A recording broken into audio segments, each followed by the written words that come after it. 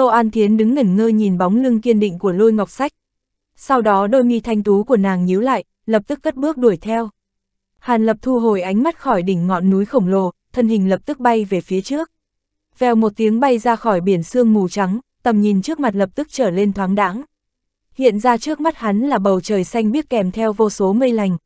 Cuối cùng, hắn đã tới được đỉnh ngọn núi khổng lồ to như cái cột trống trời kia.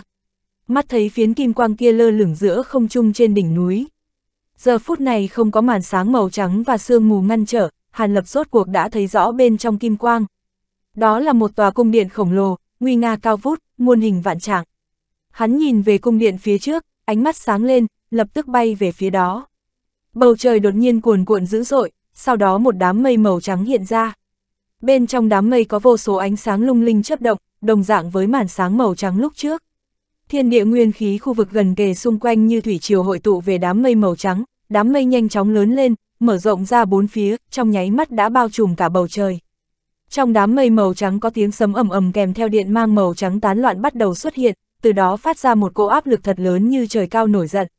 Bên dưới tầng mây, cuồng phong gào thét, quét sạch cả ngọn núi khổng lồ. Đất đá trên núi văng tung tóe, cây cối bay tứ tung, biển sương mù quay cuồng không ngừng, một cảnh tượng hỗn loạn, trời đất đảo điên. Hàn Lập hơi biến sắc, ngay lập tức dừng lại, tính quan sát kỹ tình huống trên bầu trời. Một loạt những tiếng nổ mạnh từ trong đám mây trắng truyền đến. Đám mây trắng đột nhiên quay cuồng kịch liệt, điện hồ màu trắng bên trong cũng nổi lên mãnh liệt.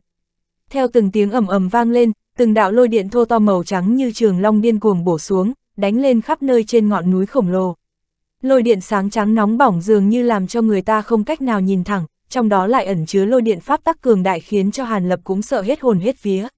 Hơn nữa, cỗ lôi điện pháp tắc này tràn ngập thiên phạt chi ý, y như thiên phạt thần lôi mà Hàn Lập đã gặp trước kia, chỉ khác nhau là uy lực cường đại hơn gấp trăm lần. Hàn Lập biến sắc, đang muốn thu hồi biến thân cự ma rồi né tránh nhưng không còn kịp nữa. Chỉ thấy hơn chục đạo lôi điện thô to đâm thủng hư không, bổ về phía hắn. Một cỗ thiên phạt kèm theo khí thức hủy diệt từ trên trời giáng xuống, như thể trời cao muốn trực tiếp hủy diệt hắn, áp chế cả ý chí phản kháng của hắn. Trời muốn giết ngươi, ngươi không được chống lại, ý thức hàn lập bị cỗ khí tức này áp chế, nhưng chỉ một khắc đã được lực lượng thần thức khổng lồ giải thoát, thế nhưng hơn chục đạo lôi điện màu trắng đã đến trước người hắn. Trong miệng cự ma phát ra một tiếng gầm thét, thân hình khổng lồ chợt lóe sáng, lập tức cấp tốc lao xuống phía dưới, cố gắng tranh thủ một chút thời gian. Đồng thời trên sáu nắm tay của cự ma hắc quang cuồn cuộn tuôn ra, sau đó đột nhiên trở nên mơ hồ, biến ảo thành vô số quyền ảnh, điên cuồng công kích mười mấy đạo lôi điện màu trắng kia. Trong khoảnh khắc, tiếng gào thét nổi lên, quyền ảnh màu đen hiện lên dày đặc, chằng chịt trong hư không, mỗi đạo quyền ảnh không chỉ tản mát ra ma khí kinh người mà còn kèm theo ba động man lực cuồn cuộn. Hư không nơi nó đi qua bị vạch ra thành từng đạo bạch ngân mà mắt thường có thể thấy được. Hư không xung quanh vặn vẹo hỗn loạn, rách vạc ra thành từng vết nứt không gian, cơ hồ đã đến giới hạn tan biến. Quyền ảnh và lôi điện va chạm vào nhau, nhưng lại không có tiếng nổ kinh thiên động địa như dự đoán. Mắt thấy quyền ảnh ẩn chứa uy thế vô cùng, nhưng vừa đụng vào lôi điện màu trắng lập tức như băng tuyết gặp lửa, không chút tiếng động trực tiếp tan ra, hóa thành từng làn khói đen lượn lờ phiêu tán đi. Hơn chục đạo lôi điện màu trắng dễ dàng xuyên thủng quyền ảnh màu đen, hung hăng lao xuống bổ lên trên thân cự ma đang tràn đầy vẻ kinh ngạc. Trên thân cự ma bị đánh ra mười mấy vết thương khổng lồ sâu tới tận xương, thân thể cao lớn nặng nề rơi xuống bên dưới đỉnh núi khổng lồ, tạo thành một cái hố to khiến cho đá vụn bay loạn xạ. Từng đạo điện hồ màu trắng quấn quanh thân thể cự ma xì xì chuyển động không ngừng. Ma khí trên người cự ma gặp phải lôi điện màu trắng giống như đụng phải khắc tinh, trực tiếp tán loạn, chớp mắt đã biến mất hơn nửa. Ma khí biến mất, thiên sát chấn ngục công cũng không duy trì được trạng thái biến thân cự ma, rất nhanh thu nhỏ lại, hiện ra bản thể hàn lập. Lúc này sắc mặt hắn tái nhợt, toàn thân hiện ra mười mấy vết thương sâu tới tận xương, máu tươi chảy ra đầm đìa.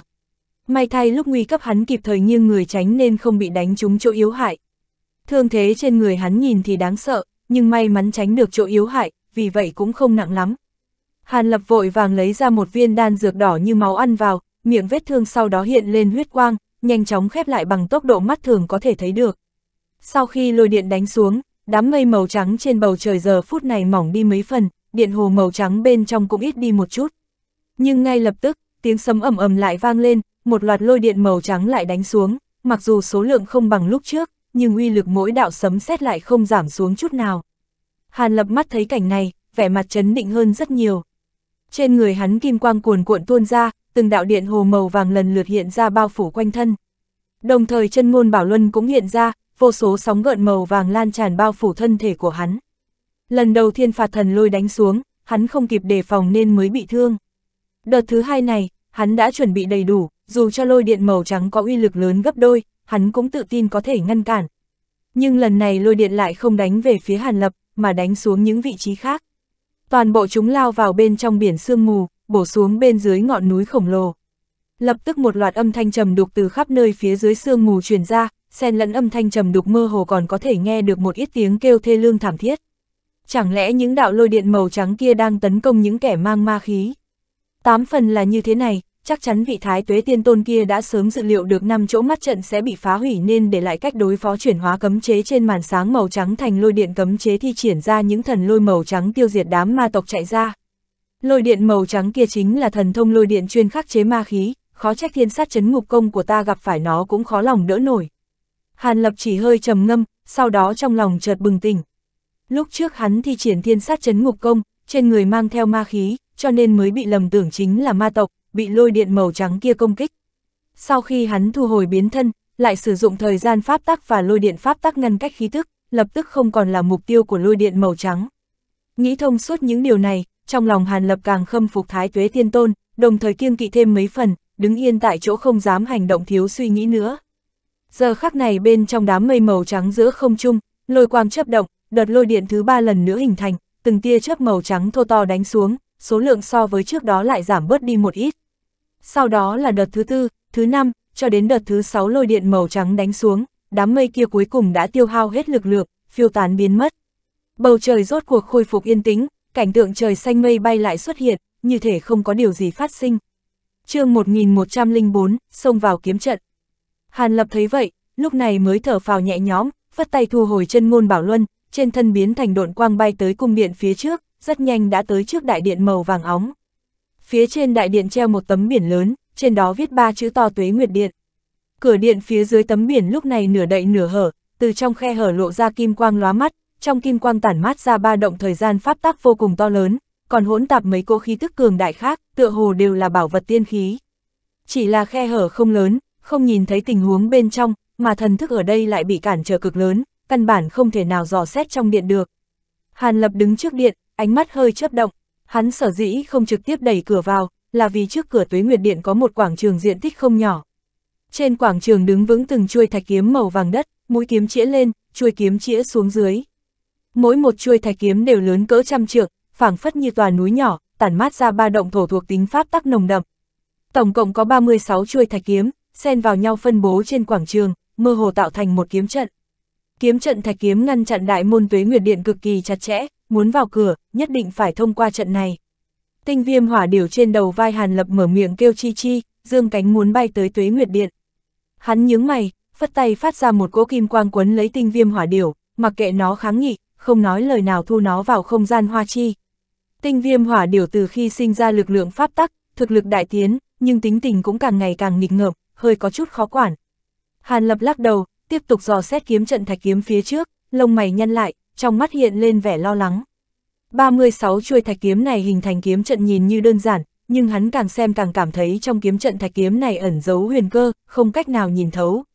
Nếu ngày thường thì không nói, hắn có thể ổn định tâm thần từ từ nghiên cứu lĩnh hội, có thể nhìn ra chút đầu mối, thậm chí còn trợ giúp không ít đối với trận pháp chi đạo của mình, nhưng bây giờ thời gian cấp bách, chậm trễ nữa rất có thể những người khác sẽ tới đây, hắn khó mà chiếm được tiên cơ.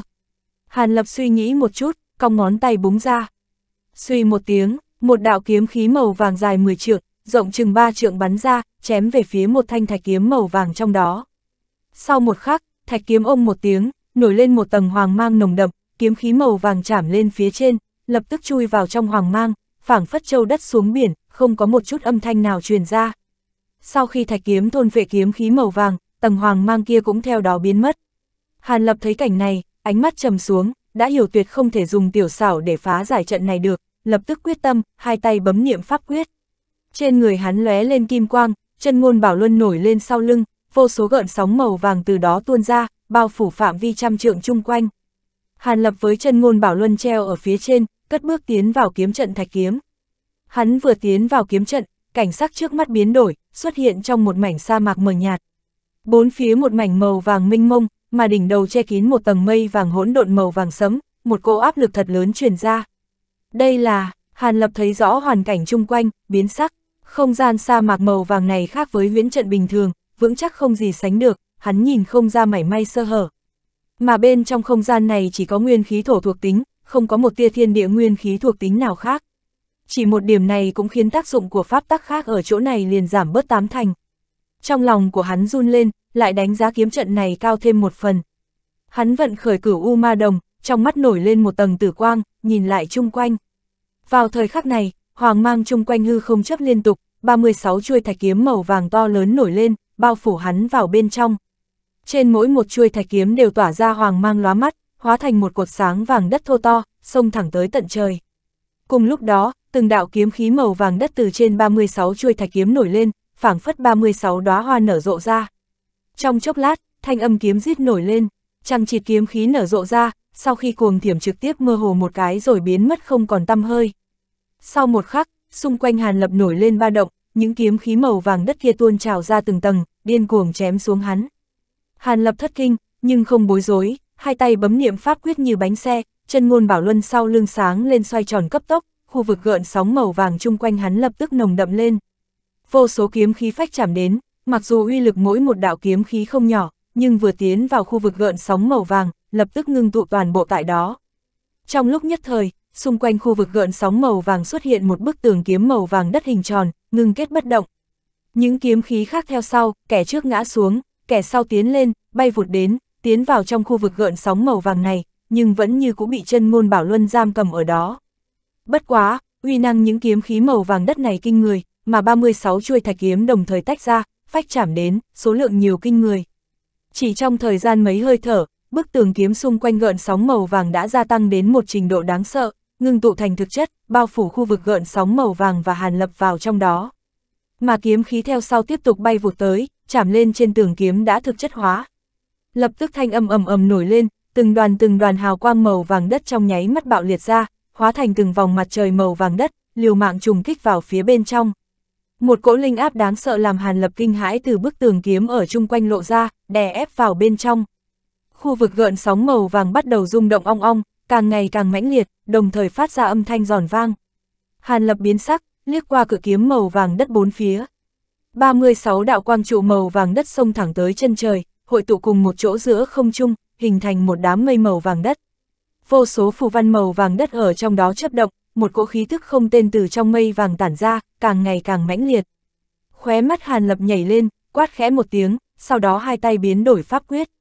Trên người hắn hiện ra hắc quang nồng đậm, đồng thời thân thể bỗng nhiên tăng vọt lên, trong nháy mắt hóa thành một cự ma ba đầu sáu tay cao trăm trượng. Hơn 900 chỗ huyền khiếu tỏa ra đạo đạo tinh quang, lập tức từng đường vân màu bạc từ trên huyền khiếu chen trúc ra, trong nháy mắt trải rộng toàn thân, đồng thời một tầng tinh thần quang mạc bao phủ các nơi trên cơ thể cự ma. Cự ma khẽ quát một tiếng, sáu nắm đấm song song đánh vào trên kiếm tường chung quanh. ầm một tiếng nổ vang rung trời, một vòng mặt trời màu đen bộc phát ra.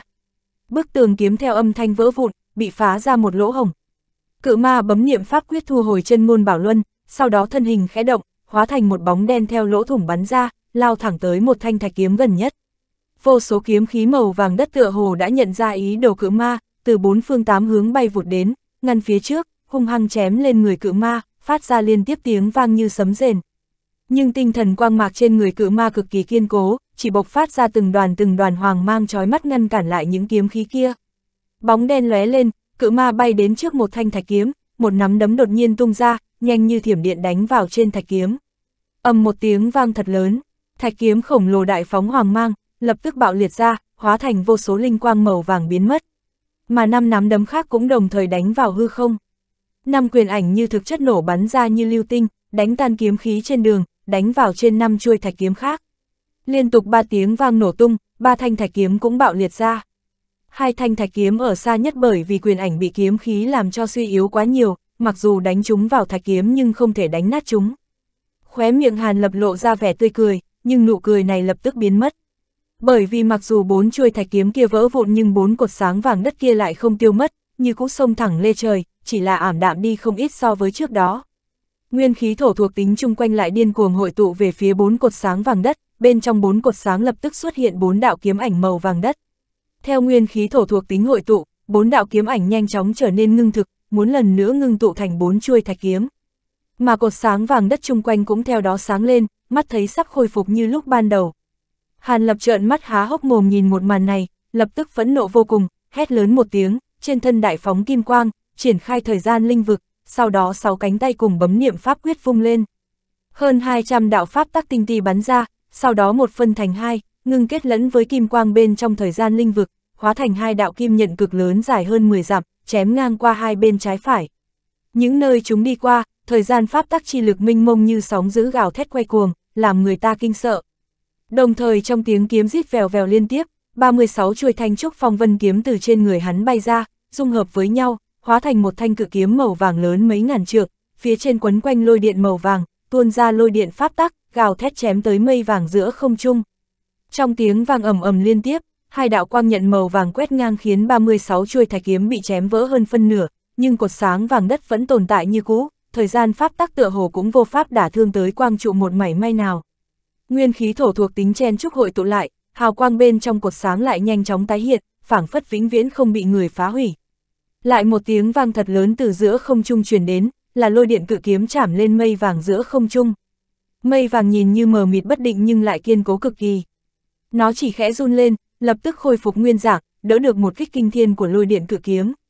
Sắc mặt Hàn Lập rốt cuộc triệt để trầm xuống. Giờ phút này mây vàng giữa không trung đột nhiên kịch liệt quay cuồng, nguyên khí thổ thuộc tính phụ cận như là hồng thủy vỡ đê, điên cuồng tụ đến. Hoàng mang trên 36 chuôi thạch kiếm ở phía dưới cũng như cá voi hút nước bị thôn vệ không còn, trên thạch kiếm cũng không còn phân hóa ra kiếm khí, tất cả quang mang đều bị mây vàng nuốt vào hết.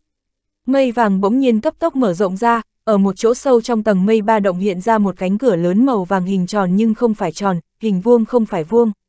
Trên cánh cửa khắc rõ từng đạo hoa văn hình kiếm, tản mát ra ba động kiếm khí lăng lệ không gì sánh được, còn có khí thức thổ chi pháp tác vô cùng to lớn. Cỗ thổ chi pháp tắc này hoàn toàn khác biệt với thổ chi pháp tắc bình thường, cho người ta cảm giác là một cỗ thiên địa đại đạo minh mông, tựa hồ cánh cửa lớn này câu thông với thiên địa. ầm một tiếng, toàn bộ không gian đột nhiên nặng nề gấp trăm lần, thân thể cự ma do Hàn Lập biến thành bỗng nhiên trầm xuống, hành động cũng trở nên chật vật dị thường. chương 1105, Thông Thiên Kiếm Trận Hàn Lập trong hình dạng cự ma bỗng nhiên khóe mắt giật giật, trong miệng phát ra một tiếng hét lớn. Trên sáu nắm tay cuồn cuộn tuôn ra hắc quang đồng thời tỏa ra tinh quang chói mắt. Tinh quang trong nháy ngưng tụ về chính giữa, hóa thành một hoa văn hình ngôi sao, sau đó lập tức bùng phát. Một loạt tiếng vù vù phát ra, sáu đoàn quyền ảnh như thực chất rời tay bắn ra, bên trên hắc quang và tinh quang đan vào nhau chấp động không ngừng, bộc phát ra lực lượng ba động hơn xa quyền ảnh màu đen lúc trước, bắn về phía đám mây vàng giữa không trung. Cùng lúc đó, thời gian pháp tắc tinh ti biến thành hai lưỡi đao ánh sáng màu vàng và thanh trúc phong vân kiếm biến thành lôi điện cự kiếm cũng phát ra âm thanh ầm ầm, hóa thành ba đạo kim quang khổng lồ bắn vọt ra, chém lên đám mây vàng. Một loạt tiếng nổ mạnh ầm ầm kinh thiên động địa, sáu đoàn quyền ảnh đánh lên mây vàng trước tiên, bạo liệt nổ tung, hóa thành sáu quang cầu cực lớn có ánh sáng đen và trắng đan xen nhau trùng kích lên bên trên mây vàng. Sau đó, hai lưỡi kim đao và lôi điện cự kiếm theo sát phía sau chém lên chính giữa đám mây vàng. Tuy đám mây vàng vô cùng kiên cố, nhưng liên tiếp bị công kích cũng quay cuồng kịch liệt, rồi xoẹt một tiếng, có chút khó khăn bị xé rách ra, bên trong lộ ra một cánh cửa lớn màu vàng. Hàn Lập thấy vậy, trên mặt lộ ra vẻ vui mừng, đang định thúc giục kim đao và lôi điện cự kiếm công kích lên cánh cửa màu vàng. Nhưng đúng lúc này, cánh cửa ầm ầm lay động, sau đó đột nhiên tỏa ra ánh sáng rực rỡ, từ bên trên bộc phát ra một tầng gợn sóng màu vàng. Hai lưới kim đao và lôi điện cự kiếm như gặp phải trọng kích, ầm ầm bay ngược trở lại. Thân thể Hàn Lập cũng chấn động, phải lùi về sau hai bước mới đứng vững. Đúng thời điểm này, cánh cửa lớn màu vàng tỏa ra hào quang mãnh liệt, từ từ mở ra một khe hở rất nhỏ. ầm, um, vô số hoàng mang từ trong khe hở cuồn cuộn trào ra tựa như thiên hà đứt gãy rồi cả bầu trời sao cùng lúc rơi xuống. Nhìn xuyên qua khe hở, có thể thấy bên trong cánh cửa là một mảnh không gian minh mông màu vàng đất, vô số đạo ánh sáng màu vàng cuồn cuộn không ngừng, như thủy triều nhấp nhô. Hoàng mang nơi đây đều chứa thổ chi pháp tác vô cùng tinh thuần, ngưng tụ gần như thành dạng lỏng, chen chúc nhau trào ra bên ngoài, hình thành một vòng xoáy khổng lồ màu vàng. Hoa văn màu vàng hình thanh kiếm trên cửa lớn chấp động không ngừng, hoàng mang đang nhấp nhô lập tức bị phân giã hóa thành vô số thanh thạch kiếm màu vàng đất. Thạch kiếm dày đặc không biết bao nhiêu mà kể, tất cả đều ùn ùn với khí thế phô thiên cái địa chém về phía Hàn Lập, phát ra hàng loạt tiếng kiếm rít đáng sợ. Trên mỗi thanh kiếm đều khắc họa hoa văn pháp tắc, tản mát ra ba động thổ chi pháp tắc vô cùng trầm trọng. Nguyên bản không gian nơi đây đã vô cùng trầm trọng giờ đây còn tăng lên rất nhiều. Hàn Lập thấy cảnh này, trên mặt lộ ra vẻ kinh hãi, trong tay vội vàng bấm niệm pháp quyết. Trên thân cự ma vốn cao trăm trượng hắc quang chấp động không ngừng, trong tích tắc thu nhỏ lại 10 lần, chỉ còn mấy chục trượng. Thời gian linh vực nhanh chóng thu nhỏ lại, chỉ còn bao phủ khu vực mấy trăm trượng nhưng lại nồng đậm hơn mấy lần. Hai lưỡi đào ánh sáng màu vàng lúc này cũng bay trở về linh vực, vỡ vụn tản ra hóa thành từng sợi tơ màu vàng chuyển động không ngừng bên trong linh vực, khiến cho uy năng của linh vực càng tăng thêm. Thạch kiếm rơi xuống như mưa vào linh vực màu vàng, tốc độ lập tức giảm đi rõ rệt. Nhân lúc này, sáu cánh tay cự ma chụp một cái lên không trung. Lôi điện cự kiếm lóe lên lôi quang lập tức bay ngược trở về, hóa thành sáu thanh kiếm lôi kiếm màu vàng nhỏ hơn một chút, phân biệt rơi vào từng tay cự ma. Cánh tay cự ma chuyển động, bắt đầu trở nên mơ hồ, sáu thanh lôi kiếm biến thành một mảnh kiếm ảnh mơ hồ, đan vào nhau tạo thành một tầng võng kiếm, đụng vào thạch kiếm đang rơi xuống như mưa. Hàng loạt tiếng nổ ầm ầm vang lên, thạch kiếm bị kiếm võng màu vàng xoắn nát. Nhưng thân thể Hàn Lập cũng chấn động mạnh, sáu nắm tay đau đớn âm ỉ, sắc mặt không khỏi đại biến. Mỗi thanh thạch kiếm đều ẩn chứa không ít thổ chi pháp tắc, hơn nữa đều vô cùng nặng nề nên mỗi lần ngăn một thanh thạch kiếm đều giống như bị một ngọn núi khổng lồ nện xuống. Mặc dù thiên sát chấn ngục công của hắn rất mạnh nhưng xem ra cũng chống đỡ không nổi. Giữa không trung càng lúc càng vang lên tiếng kiếm rít, càng lúc càng nhiều thanh thạch kiếm chém xuống, khiến cho hắn chịu áp lực ngày càng lớn. Khốn kiếp, đây là kiếm trận gì vậy? Trong lòng Hàn Lập gầm lên giận dữ, toàn lực thúc giục thiên sát chấn ngục công, thanh trúc phong vân kiếm và thời gian linh vực. Phóng kiếm màu vàng lại nồng đậm thêm vài phần, ngoan cường ngăn thạch kiếm đang rơi xuống như mưa. Cùng lúc đó, trên bầu trời cách quảng trường thạch kiếm hơn nghìn dặm, hai đạo độn quang sánh vai nhau mà đi, từ đằng xa bay vụt tới.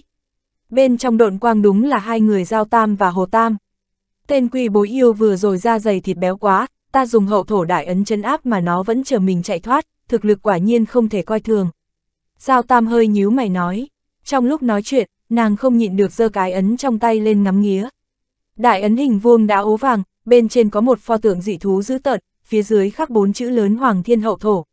Cái ấn này thoạt nhìn không tỏa ra nhiều hào quang cho lắm, nhưng lại truyền ra từng trận lực lượng pháp tắc thổ thuộc tính nồng đậm, thỉnh thoảng có từng tầng ánh sáng màu vàng đất từ mặt ngoài nổi lên. Dù sao ngươi không tu luyện lực lượng pháp tắc thổ thuộc tính, miễn cưỡng thúc giục cái ấn này đã không dễ dàng rồi. Lại muốn chân áp giết chết cái tên huyền quy yêu ma nhất mạch vốn nổi tiếng về khí lực kia tự nhiên không dễ. Tuy nhiên nhìn dáng vẻ của y có lẽ cũng chịu không ít đau khổ. Hồ Tam cười cười, nói ra, Giao Tam gật đầu, đang định thu hồi đại ấn màu vàng, đột nhiên nhíu mày, ánh mắt nhìn xuống quảng trường thạch kiếm càng lúc càng đến gần kia. Giờ phút này bên trên quảng trường kiếm khí lượn lờ, bên trong là một mảnh hỗn độn không thấy rõ. Đây là, Hồ Tam cũng nhướng mày, nghi ngờ nói ra, kiếm trận này nhìn qua rất bất phàm, giống như đã hoạt động, chẳng lẽ đã có người xông vào kiếm trận. Giao Tam cũng có chút ngạc nhiên, hai người vừa mới hạ xuống được mép ngoài quảng trường, xa xa lại có hai đạo độn quang cùng nhau đi tới, từ trong hiện ra hai người Lam Nguyên Tử và Lam Nhan. Thấy hai người giao tam đứng ngoài trận, Lam Nguyên Tử khẽ nhíu mày có chút kích động không dễ phát hiện ra. Lam Nhan liếc mắt nhìn quảng trường thạch kiếm đang lượn lờ kiếm khí, sau đó lại nhìn tòa đại điện hùng vĩ ở phía sau, lông mày cũng không tự chủ được nhíu lại. Hai người giao tam và bọn họ thoáng nhìn nhau, không bên nào chủ động mở miệng. Đúng vào lúc này, lại có ba đạo độn quang hạ xuống. Ba người lôi ngọc sách, Tô An Thiến và Văn Trọng chẳng biết tập hợp lại từ lúc nào giờ phút này cũng đã chạy tới. Lôi ngọc sách vừa hạ xuống đất, ánh mắt đã nhìn lên kiếm trận. Chỉ thấy gã tiến lên một bước, đi tới đi lui dọc theo mép ngoài quảng trường, trong mắt hiện ra vẻ kích động. Thông thiên kiếm trận, văn sự đệ, đệ thấy không? Đây mới thực sự là thông thiên kiếm trận hoàn chỉnh. Trong mắt lôi ngọc sách lộ vẻ hưng phấn, truyền âm cho văn trọng. Kiếm trận truyền thừa trong tông môn đã mất, vậy mà nơi đây lại có. Ánh mắt văn trọng biến đổi, vội vàng trả lời. Ta nghiên cứu thông thiên kiếm trận không biết đã bao nhiêu năm rồi, nhưng vẫn không cách nào tái hiện nó hoàn chỉnh, không ngờ nơi đây thật sự tồn tại kiếm trận hoàn chỉnh. Xem ra truyền thuyết trong tông môn lưu truyền là sự thật, năm đó Thái Tuế Tiên Tôn thật sự đã mang trận đồ kiếm trận đặt ở nơi này. Lôi Ngọc Sách vẫn không nén nổi vui mừng, truyền âm cho Văn Trọng. Lôi đạo hiếu, ngươi làm sao vậy? Tô An Thiến không hiểu gì, chỉ cảm thấy vẻ mặt lôi Ngọc Sách lúc này có chút cổ quái, nàng tiến lên một bước mở miệng hỏi. Lôi Ngọc Sách nghe vậy mới hồi phục, thu liếm lại tinh thần, có chút xấu hổ đỏ mặt trả lời, ta nhìn thấy thông thiên kiếm trận đã thất truyền trong tông môn nên có chút kích động không nhịn được. Thất lễ, thất lễ, theo lời ngươi nói thì kiếm trận trước mắt chính là thông thiên kiếm trận tiếng tăm lừng lẫy hay sao? Tô An Thiên nghe vậy, cũng có chút không ngờ tới, nhíu mày hỏi. Hai người giao tam nghe vậy, vẻ mặt cũng đột nhiên biến đổi. Cái tên thông thiên kiếm trận vô cùng có ý tứ, thực sự không phải vì xuất thân ở thông thiên kiếm phái mà được gọi như thế. Ngược lại, thông thiên kiếm phái được sở hữu danh tiếng thông thiên nguyên nhân chính là vì thành lập môn phái dựa trên thông thiên kiếm trận. Có thể nói, chính vì đã có thông thiên kiếm trận nên mới có thông thiên kiếm phái. Với tư cách là kiếm trận chấn tông của thông thiên kiếm phái, sát lực của kiếm trận này tự nhiên không phải những kiếm trận tầm thường có thể so sánh. Người tu luyện kiếm trận này có thể dễ dàng vượt cấp giết địch, mức độ chân quý cỡ nào chắc cũng đã biết. Lôi đạo hiếu, nhìn trạng thái kiếm trận lúc này nhất định là có người đang ở bên trong phá trận, ta nghĩ việc này không nên chậm trễ nữa, người mau chóng phá trận, nếu không đám yêu ma nhanh chân đến trước chiếm được tiên cơ thì không ổn chút nào. Giao Tam mở miệng nhắc nhở, lôi ngọc sách nghe vậy nhướng mày, còn đang do dự muốn nói chuyện tiếp thì bỗng nhiên sắc mặt biến đổi, quay đầu nhìn lại đằng sau. Cùng lúc đó vẻ mặt đám người Giao Tam cũng hơi đổi, nhìn sang phía bên kia. Chỉ thấy giữa không trung ô quang phun trào, khói đen đầy trời, từ trong đó bay ra bảy tám bóng người. Đám người này phần lớn đều cực kỳ cổ quái dữ tợn, chính là đám yêu ma đầu sỏ bị phong ấn dưới những cái tế đàn kia. Ngoại trừ đồng sư yêu ma, bạch cốt yêu ma, huyết thủ yêu ma còn có hai tên lạ hoắc. Một tên toàn thân đen thui cao tầm 10 trượng, trên đầu mọc ra long rác, trên thân còn có long lân, sau lưng có một cái mai rùa màu xanh đen cực lớn, trên mai rùa khắc đầy các loại phù văn thập phần cổ quái. Ở bên mép mai rùa có một vết rách dài chừng ba thước, vết rách có chút sắc bén, xem ra mới bị tổn thương. Tên yêu ma này vừa rơi xuống đất, ánh mắt đã nhìn về phía Giao Tam, trong mắt hiện lên vẻ oán độc. Dễ dàng nhận thấy vết rách mới tinh trên mai rùa hơn phân nửa là do bị Giao Tam dùng hậu thổ đại ấn tạo ra. Tên yêu ma còn lại thân hình cũng không có gì đặc biệt lắm, thân thể dung mạo cũng không cổ quái như mấy tên kia, khuôn mặt khá giống với nhân tộc, chỉ là đôi mắt âm u có màu xanh biếc, mũi dài cong cong như mỏ ưng, một đôi lông mày trắng xiên chéo nối liền với nhau, nhìn qua có chút nham hiểm.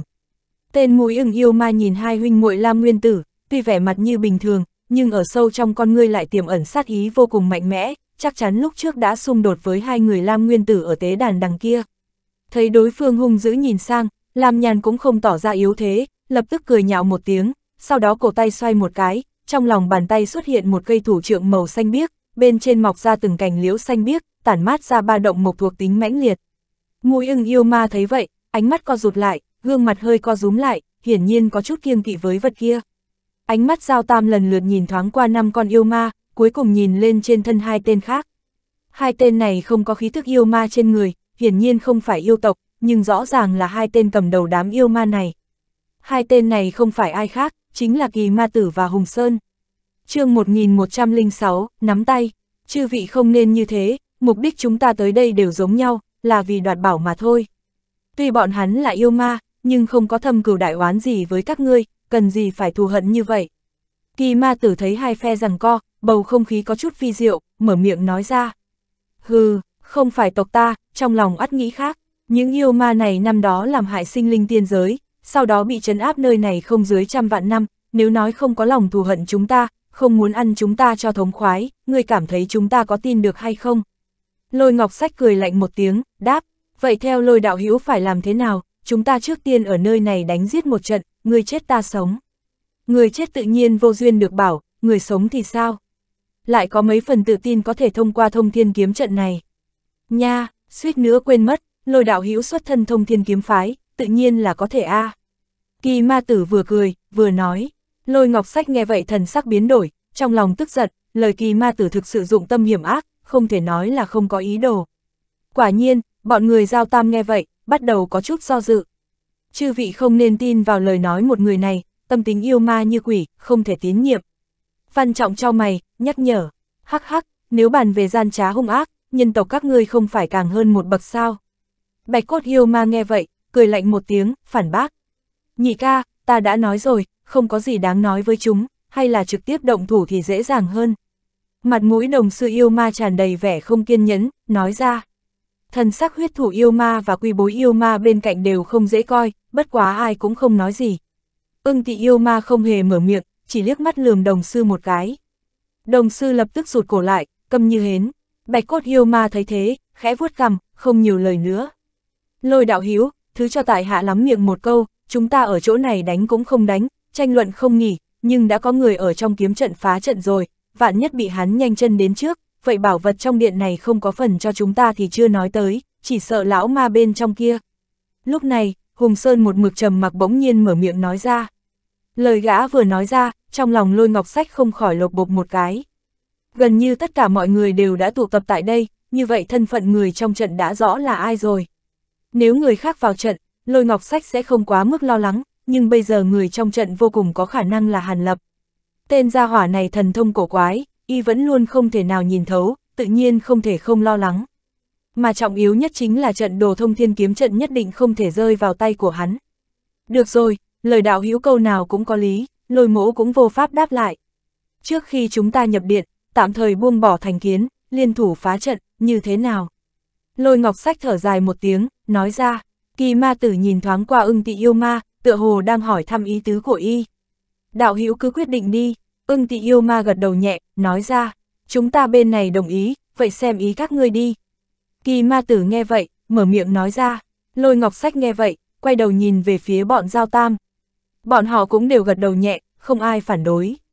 Để biểu hiện thành ý, ta đã lệnh bọn hắn yêu cầu thuộc hạ đều rời xa khỏi đây, không được đến gần. Cũng hy vọng lôi đạo hữu có thể lấy ra chút thành ý. Kỳ ma tử nhìn về phía lôi ngọc sách, nói ra. Đạo hữu nói lời này là có ý gì? Lôi ngọc sách ra vẻ không hiểu, hỏi. Thông thiên kiếm trận này xuất xứ từ thông thiên kiếm phái các ngươi, đạo hữu lại không có phương pháp phá trận sao? Kỳ ma tử lạnh lùng nói ra. Đạo hữu có chỗ không biết, phương pháp bày kiếm trận hoàn chỉnh này đã sớm thất truyền trong tông ta, kiếm trận cất giấu trong môn trải qua bao năm diễn biến, sớm đã không phải bộ dáng ban đầu, rốt cuộc phá trận nên thế nào, ta cũng chỉ chờ sau khi vào trận mới có thể biết được. Lôi ngọc sách than thở một tiếng, có chút thổn thức nói ra. Kỳ ma tử nghe vậy, lông mày nhíu lại, hiển nhiên cũng không tin lời gã. Nếu đạo hữu không tin, ta cũng không có biện pháp. Cùng lắm thì đạo hữu thử dẫn đầu phá trận xem, chúng ta không ngăn cản là được. Lôi ngọc sách giang tay ra, nhìn như có vẻ bất đắc dĩ nói. Thôi, đã như vậy, chúng ta cùng nhau vào trận. Tin tưởng sau khi vào trận, đạo hữu không thể không xuất 10 phần lực phá trận. Kỳ ma tử cười nói, đó là tự nhiên, chờ vào trong trận, điều tra rõ biến hóa huyền diệu của trận này, tại hạ tự nhiên có thể nắm chắc phá trận. Lôi ngọc sách gật đầu nhẹ, nói ra, sau khi bàn định, đám người liền phân làm hai đội, đứng trước kiếm trận. Chư vị, sau khi vào trận, nhớ không được tùy ý đi lại, càng di chuyển nhiều, đụng phải kiếm trận công kích càng mạnh, trước tiên có thể tìm một chỗ trận cước thử bài trừ. Lúc này, lôi ngọc sách bỗng nhiên truyền âm cho bọn người giao tam. Đa tạ nhắc nhở, đám người nghe vậy, sắc mặt không có biến hóa, chỉ lấy tiếng lòng đáp lại. Kỳ ma tử lườm bọn họ một cái, trong mắt lóe lên vẻ châm chọc, lập tức mở miệng quát, vào trận. Lão vừa nói xong, thân hình đám người ào ào chấp động, tiến vào kiếm trận. Theo sát ta, trước một khắc vào trận, lôi ngọc sách bỗng nhiên chụp lấy bàn tay mềm mại của Tô An Thiến, cùng nàng nhẹ nhàng tiến vào. Trong lòng Tô An Thiến hơi sao động một cái, cảm giác gương mặt hơi nóng lên. Đám người vừa mới đi vào kiếm trận, thân hình bay ở giữa không trung bỗng nhiên trầm xuống, giống như bị một cỗ cự lực vô hình ép xuống, dồn dập rơi xuống mặt đất.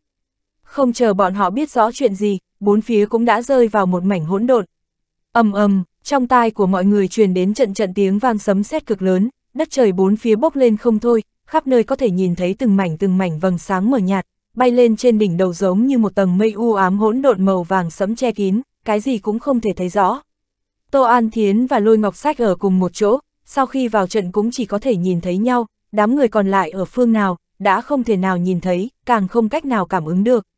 Chỉ là trọng lực xung quanh tựa như tăng lên gấp 10 lần, khiến cho bọn họ đứng thẳng trên mặt đất cũng cảm thấy như trên thân lưng vác một tòa sơn nhạc to lớn, vội vận chuyển thần thông thể nội chống lại nguồn lực lượng này.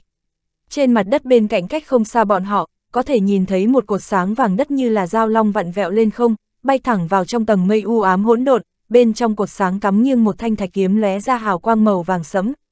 Xem ra trận này là lấy lực lượng thổ thuộc tính pháp tắc làm căn cơ bố trí, muốn bài trừ chỉ sợ không dễ. Lôi ngọc sách tra xét biến hóa bốn phía một chút, mở miệng nói ra. Lực lượng thổ thuộc tính pháp tắc làm căn cơ, đây là ý gì? Tô An Thiến nghe vậy, nghi hoặc hỏi. Thông thiên kiếm trận lấy kiếm trận thông vạn pháp, bản thân không hề có thuộc tính, khi bày trận sử dụng loại phi kiếm ẩn chứa lực lượng pháp tắc khác nhau thì sẽ sinh ra khí tượng trận pháp khác nhau, tạo thành công kích cũng hoàn toàn khác nhau. Đó cũng là một trong những lý do ta nói sau khi vào trận, mới có thể biết được nên phá trận thế nào. Lôi Ngọc Sách nhanh chóng giải thích, đã như vậy, trận này làm thế nào phá? Tô An Thiến hỏi vội, kiếm trận vốn do tu sĩ khống chế mới có thể vận chuyển tự nhiên.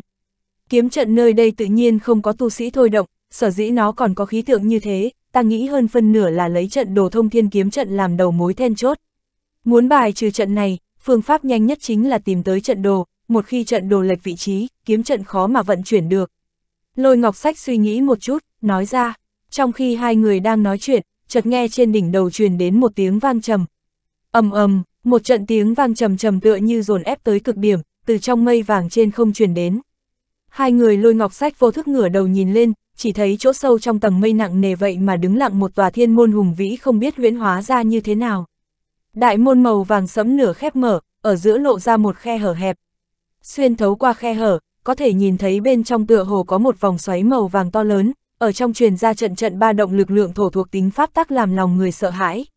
Tô An Thiến vừa định mở miệng nói chuyện thì bên trong vòng xoáy trong cánh cửa kia chớp lên quang mang liên tiếp, ngay sau đó liền có từng đoàn hào quang màu vàng sẫm từ trong khe hở cửa bắn ra, giáng xuống các nơi phía dưới. Chỉ thấy sau khi những ánh sáng này bắn ra, lập tức ngưng tụ thành từng chuôi cự kiếm màu vàng lớn hơn 10 trượng, toàn thân lóe ra hào quang màu vàng sẫm, đánh xuống các nơi trong kiếm trận. Rầm rầm rầm, trong đó có hai thanh cự kiếm lao xuống phía hai người lôi ngọc sách. Chúng chưa bay tới, trên bầu trời đã có một cỗ cảm giác áp bách nặng nề làm cho người hít thở không thông, cuồn cuộn đánh tới, phảng phất đè ép không khí trên đỉnh đầu hai người xuống dưới. Tô tiên tử cẩn thận, lôi ngọc sách nhắc nhở một tiếng, sau đó vội che ở trước người nàng, hai tay giơ cao, lấy thế nâng bầu trời trống lên.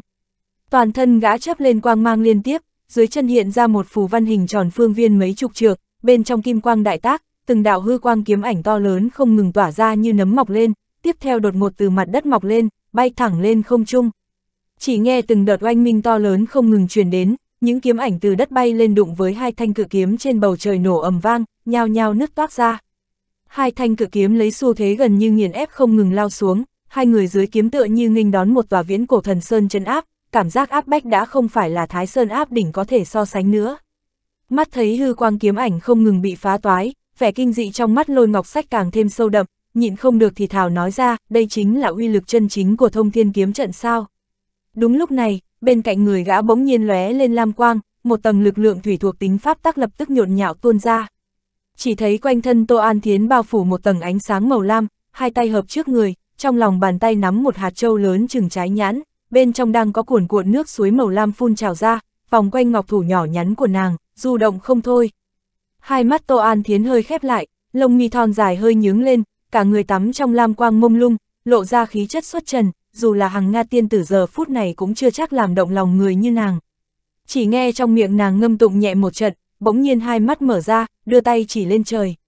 Dầm dầm, một trận thanh âm sóng nước đại tác, dòng suối màu lam quấn trên tay nàng bỗng nhiên phóng lên tận trời, ở giữa không trung bỗng nhiên phồng lớn, hóa thành một đạo sóng lớn kinh thiên, chụp về phía hai thanh cự kiếm trên không. Hai thanh cự kiếm lọt vào hồng thủy trùng kích, thế rơi xuống lập tức dừng lại một chút, nhưng không dừng hẳn, vẫn chậm chậm đè ép xuống. chương 1107, tìm trụ cột trận. Đi, trong miệng lôi ngọc sách phát ra một tiếng hét to rung trời, phù văn trên mặt đất dưới chân gã tỏa ra hào quang mãnh liệt. Từng trận âm thanh chói tai ẩm ý không ngừng vang lên, một loạt thanh kiếm lóng lánh kim quang từ dưới mặt đất liên tiếp hiện ra, mũi kiếm chỉ thẳng lên không trung. Những thanh kiếm này và hư quang kiếm ảnh lúc trước hoàn toàn bất đồng, toàn bộ đều là phi kiếm chân thực, số lượng chừng 36 thanh. Trên mỗi thanh kiếm đều khắc họa rõ nét phù văn, chính giữa đều ẩn chứa vô số sợi tơ lực lượng pháp tắc kim thuộc tính. Chỉ thấy hai tay lôi ngọc sách kết kiếm quyết, phi kiếm màu vàng trên mặt đất lập tức rung động kịch liệt. Trên thân kiếm kim quang tăng vọt, cuồn cuộn tuôn ra ngàn vạn kiếm tim màu vàng, giống như thủy triều đảo ngược tuôn ra, lao lên bầu trời. Trên cao giữa không trung, hai thanh cự kiếm màu vàng đang ép xuống lúc này vốn đã bị cản trở rất nhiều, giờ phút này lại có kiếm ti dày đặc không ngừng tuôn ra, rốt cuộc đem lực lượng pháp tác thổ thuộc tính ẩn chứa trong chúng tiêu hao hầu như không còn. Giữa không trung, sau một loạt âm thanh nổ vang, hai thanh cự kiếm màu vàng đồng thời nổ tung, hóa thành một quầng sáng tiêu tán đi. Lôi Ngọc Sách và Tô An Thiến thấy thế nhìn nhau cười một tiếng. Nhưng hai người chưa kịp buông lỏng tinh thần, bên trong thiên môn trên bầu trời trên đỉnh đầu hai người lại truyền ra âm thanh nặng nề. Xem ra không phá được kiếm trận, công kích chắc chắn sẽ không dừng. Ánh mắt lôi ngọc sách lóe lên, nói ra, trận đồ của kiếm trận này chắc hẳn nằm ở một chỗ ngay trong trận này. Ngươi đi tìm đi, một mình ta ở đây là được rồi. Tô An Thiến nghe vậy, suy nghĩ một chút, rồi nói. Uy lực kiếm trận này không tầm thường, một mình nàng chỉ sợ. Lôi đạo hữu nói như vậy, không biết là khinh thường thiên thủy tông chúng ta, hay là khinh thường ta. Không chờ lôi ngọc sách nói xong, sắc mặt Tô An Thiến trở nên nghiêm nghị, ngữ khí có chút lạnh như băng. Không dám, không dám. Lôi ngọc sách nghe vậy cứng họng, nhìn lên khuôn mặt xinh đẹp của Tô An Thiến, cười khổ. Ngươi yên tâm đi, chỗ này cứ giao cho ta. Lôi An Thiến thấy bộ dạng lúc này của lôi ngọc sách, thân sắc mới buông lỏng, trên khuôn mặt lộ ra vài phần vui vẻ hiếm thấy, nói ra. Được rồi, Tô Tiên Tử xin hãy hết sức cẩn thận, ta đi tìm trận đồ đây. Lôi ngọc sách có chút lo lắng, nhưng cũng chỉ nói được đến vậy. Lôi đạo hiếu, ngươi cũng cẩn thận một chút, thân sắc Tô An Thiến vẫn như cũ, nhẹ nhàng nói. Lôi ngọc sách nghe vậy trong lòng cảm thấy mừng rỡ, nhẹ nhàng gật đầu, quay người đi đến bên trong đại trận. Trên thân gã chịu áp lực như thiên quân vạn mã nhưng trong lòng lại cảm thấy thoải mái, vui sướng không thôi. Khe hở trên thiên môn trên bầu trời vẫn mở ra như cũ, cự kiếm màu vàng thỉnh thoảng vẫn lao xuống, bất kể là đám người giao tam hay đám yêu ma bị vây trong đó đều không cảm thấy dễ chịu chút nào. Ngược lại Hàn Lập là người đầu tiên vào trận, giờ phút này lại cảm thấy nhẹ nhõm không ít. Bởi vì có những người này vào trận, kiếm trận phải phân tán lực lượng công kích tất cả mọi người, áp lực và tần suất kiếm trận công kích trên người hắn vô tình giảm đi rất nhiều. Giờ phút này, hắn đang toàn lực điều động chân linh huyết mạch, vận chuyển thiên sát chấn ngục công, sáu cánh tay đều cầm một thanh thanh trúc phong vân kiếm, một đường không ngừng chém ra, phát ra lôi quang kiếm khí mở đường, đánh tan cự kiếm màu vàng trên bầu trời lao xuống, đi vào trung tâm kiếm trận. Dựa theo suy đoán của hắn lúc trước, trụ cột của kiếm trận này hơn phân nửa là nằm trong trung tâm kiếm trận nơi khó tiến vào nhất. Một khi tìm được ở đó, hắn sẽ có cơ hội phá vỡ kiếm trận. Theo lôi quang không ngừng nổ mạnh, hư không bốn phía bỗng nhiên phát ra hào quang hỗn độn mãnh liệt, một hồi gió lốc từ trong hư không sinh ra điên cuồng cuốn ra xung quanh, không gian bốn phía trở thành một mảnh sương mù như đi vào bên trong hư vô ảo cảnh. Hàn Lập thấy thế, trong lòng có chút căng thẳng, lông mày không tự chủ được nhíu chặt lại. Nhưng ngay sau đó trong đôi mắt hắn lóe lên hào quang màu tím, toàn lực vận chuyển cửu U Ma Đồng, quan sát bốn phía xung quanh. Mặc dù đã sử dụng thần thông linh mục nhưng cảnh tượng bốn phía vẫn không có nửa điểm biến hóa, vẫn là một cảnh tượng hỗn độn khó phân nguồn gốc, cùng lúc đó cự kiếm trên bầu trời vẫn không ngừng công kích hắn. Hàn Lập thấy vậy, không thể không vừa phân tâm tìm đường vừa toàn lực chống lại công kích của cự kiếm. Hắn lầm nhầm pháp quyết luyện thần thuật, toàn lực điều động lực lượng thần thức dò xét bốn phía xung quanh, nhưng kết quả vẫn như cũ không có thu hoạch gì. Trong tuế nguyệt tháp, lực lượng thần thức vốn đã bị áp chế mạnh mẽ, trong kiếm trận này bị áp chế chỉ có hơn chứ không kém. Thần thức hàn lập phóng xuất đi cũng chỉ cảm nhận được lực lượng pháp tắc thổ thuộc tính trong trời đất bốn phương, không phát hiện ra điều gì khác. Trong lòng hắn lo lắng nhưng cũng vô dụng, giống như con ruồi không đầu, chỉ bằng hãy đi theo trực giác. Nhưng theo bước chân hắn không ngừng đi đi lại lại, áp lực bốn phía xung quanh càng trở nên mạnh hơn, so với lúc mới bước vào kiếm trận đã mạnh hơn không chỉ gấp 10 lần. Hàn lập thân ở giữa, mỗi bước đi nham thạch dưới chân kết một tiếng vỡ vụn ra, trên mặt đất lập tức lưu lại một dấu chân thật sâu. Hơn nữa, theo mỗi lần cự kiếm màu vàng chém xuống, Hàn lập lại phải chịu thêm áp lực, lại nặng thêm một phần. Kiếm trận hay lắm, nếu như tu sĩ Đại La không có phương pháp phá trận chính xác thì cũng phải từ từ mà chết ở chỗ này. Cổ họng Hàn lập khẽ nhúc nhích, trong miệng cảm thấy có mùi ngai ngát, khẽ hắt xì một cái, nói ra. Đã đi đến tận chỗ này, mặc dù nhìn hắn như không có vấn đề gì, nhưng thật ra phủ tạng trong cơ thể đã bị đè nén sắp đến giới hạn. Nếu không mau chóng tìm được cách phá trận rời đi, sớm muộn cũng nguy hiểm đến tính mạng. Sau khi đã gian nan đi về phía trước như vậy mấy trăm trượng, sau lưng Hàn Lập để lại một hàng dấu chân thật dài, lún sâu xuống dưới đất.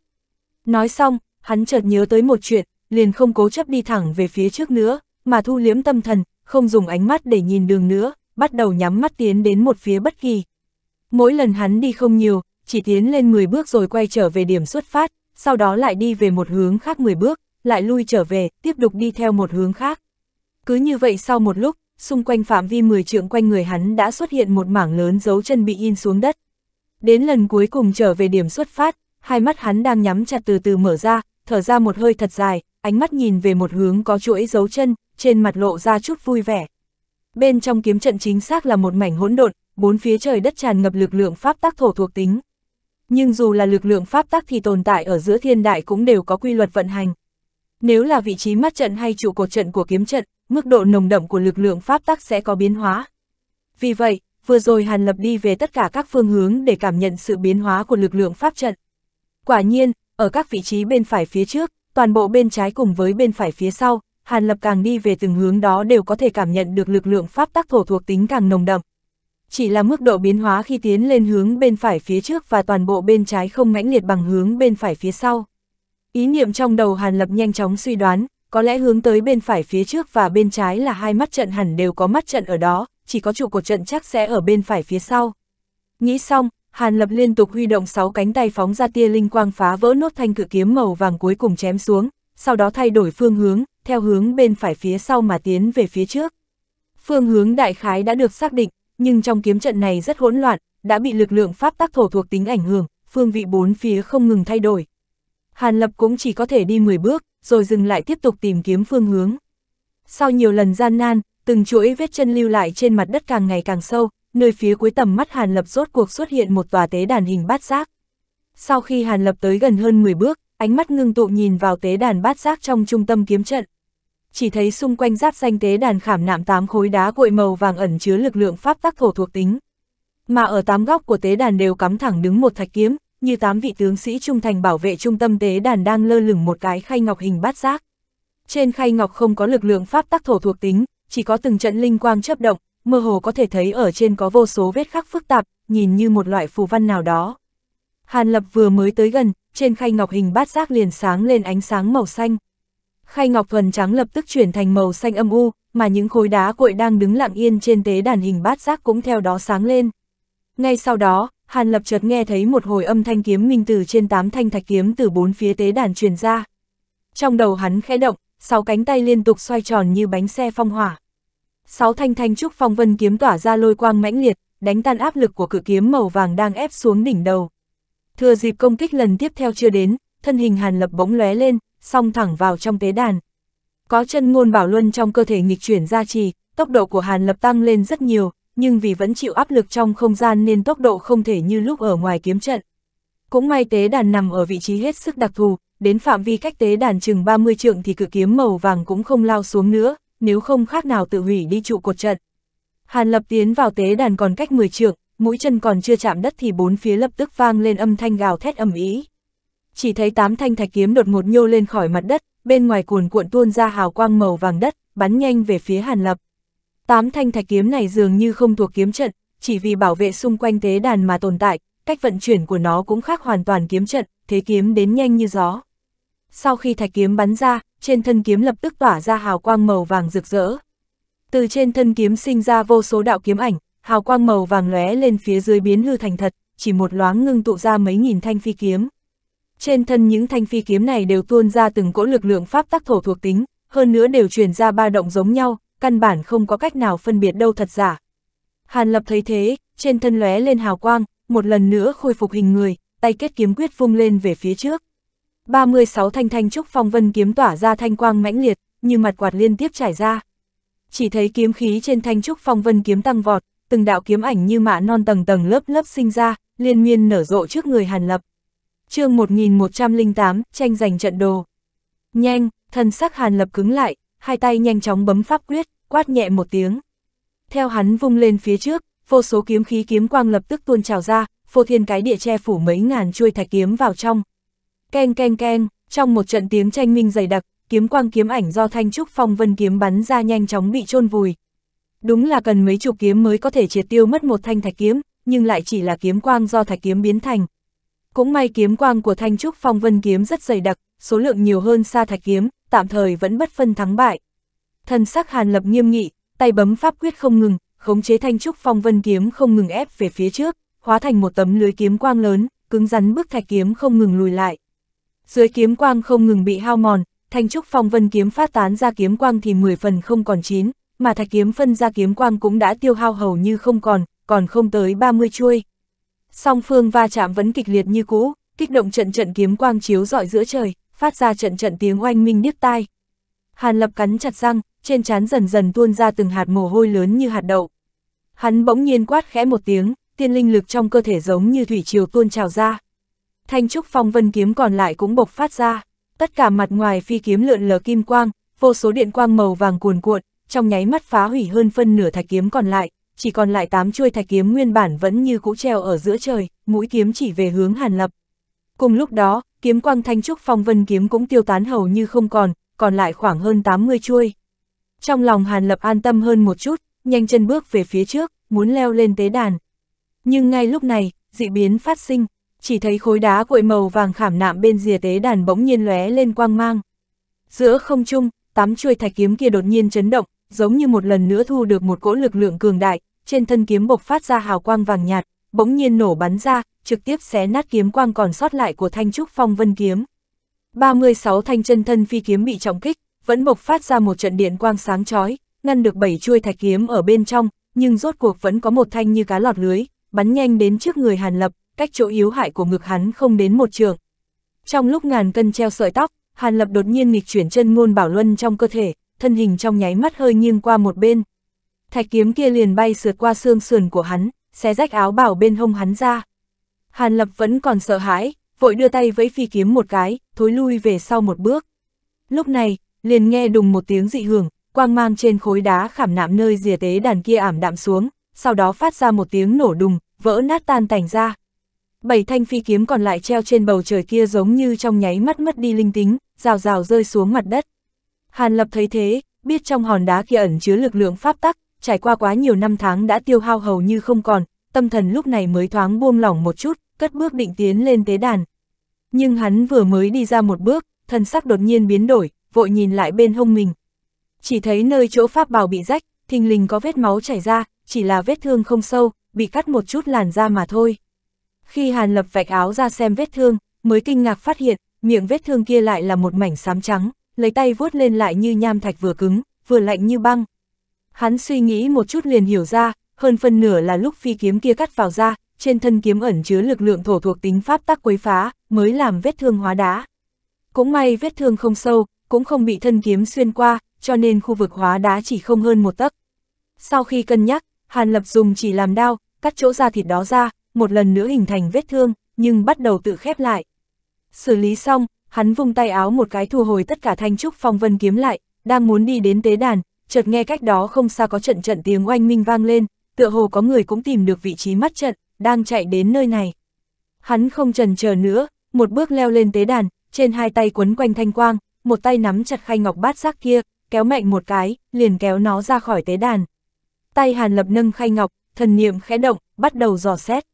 Sau một lát, hai mắt hắn thình lình mở ra, trong mắt lóe lên vẻ kinh hỉ, khay ngọc bát giác trong tay không phải vật gì khác, mà chính là trận đồ thông thiên kiếm trận tương truyền bị Thái Tuế Tiên Tôn mang khỏi thông thiên kiếm phái.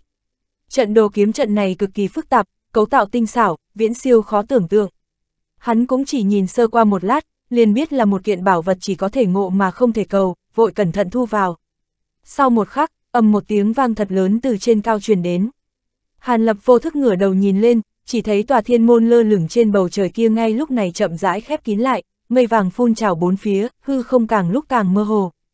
Vừa rồi cự kiếm màu vàng còn không ngừng rơi xuống, giờ toàn bộ đã biến mất, toàn bộ đại trận đã triệt để tiêu mất. Nguồn lực lượng một mực làm cho người cảm thấy bị đè ép kia cũng đang từ từ biến mất, chỉ là vũ khí hỗn độn tụ lại chung quanh tạm thời vẫn chưa biến mất, nhưng từng tia từng sợi lực lượng thổ thuộc tính pháp tắc ẩn chứa ở trong đã không còn nữa. Hàn lập từ trên tế đàn chậm rãi lui xuống, lật tay một cái, lấy ra một viên đan dược.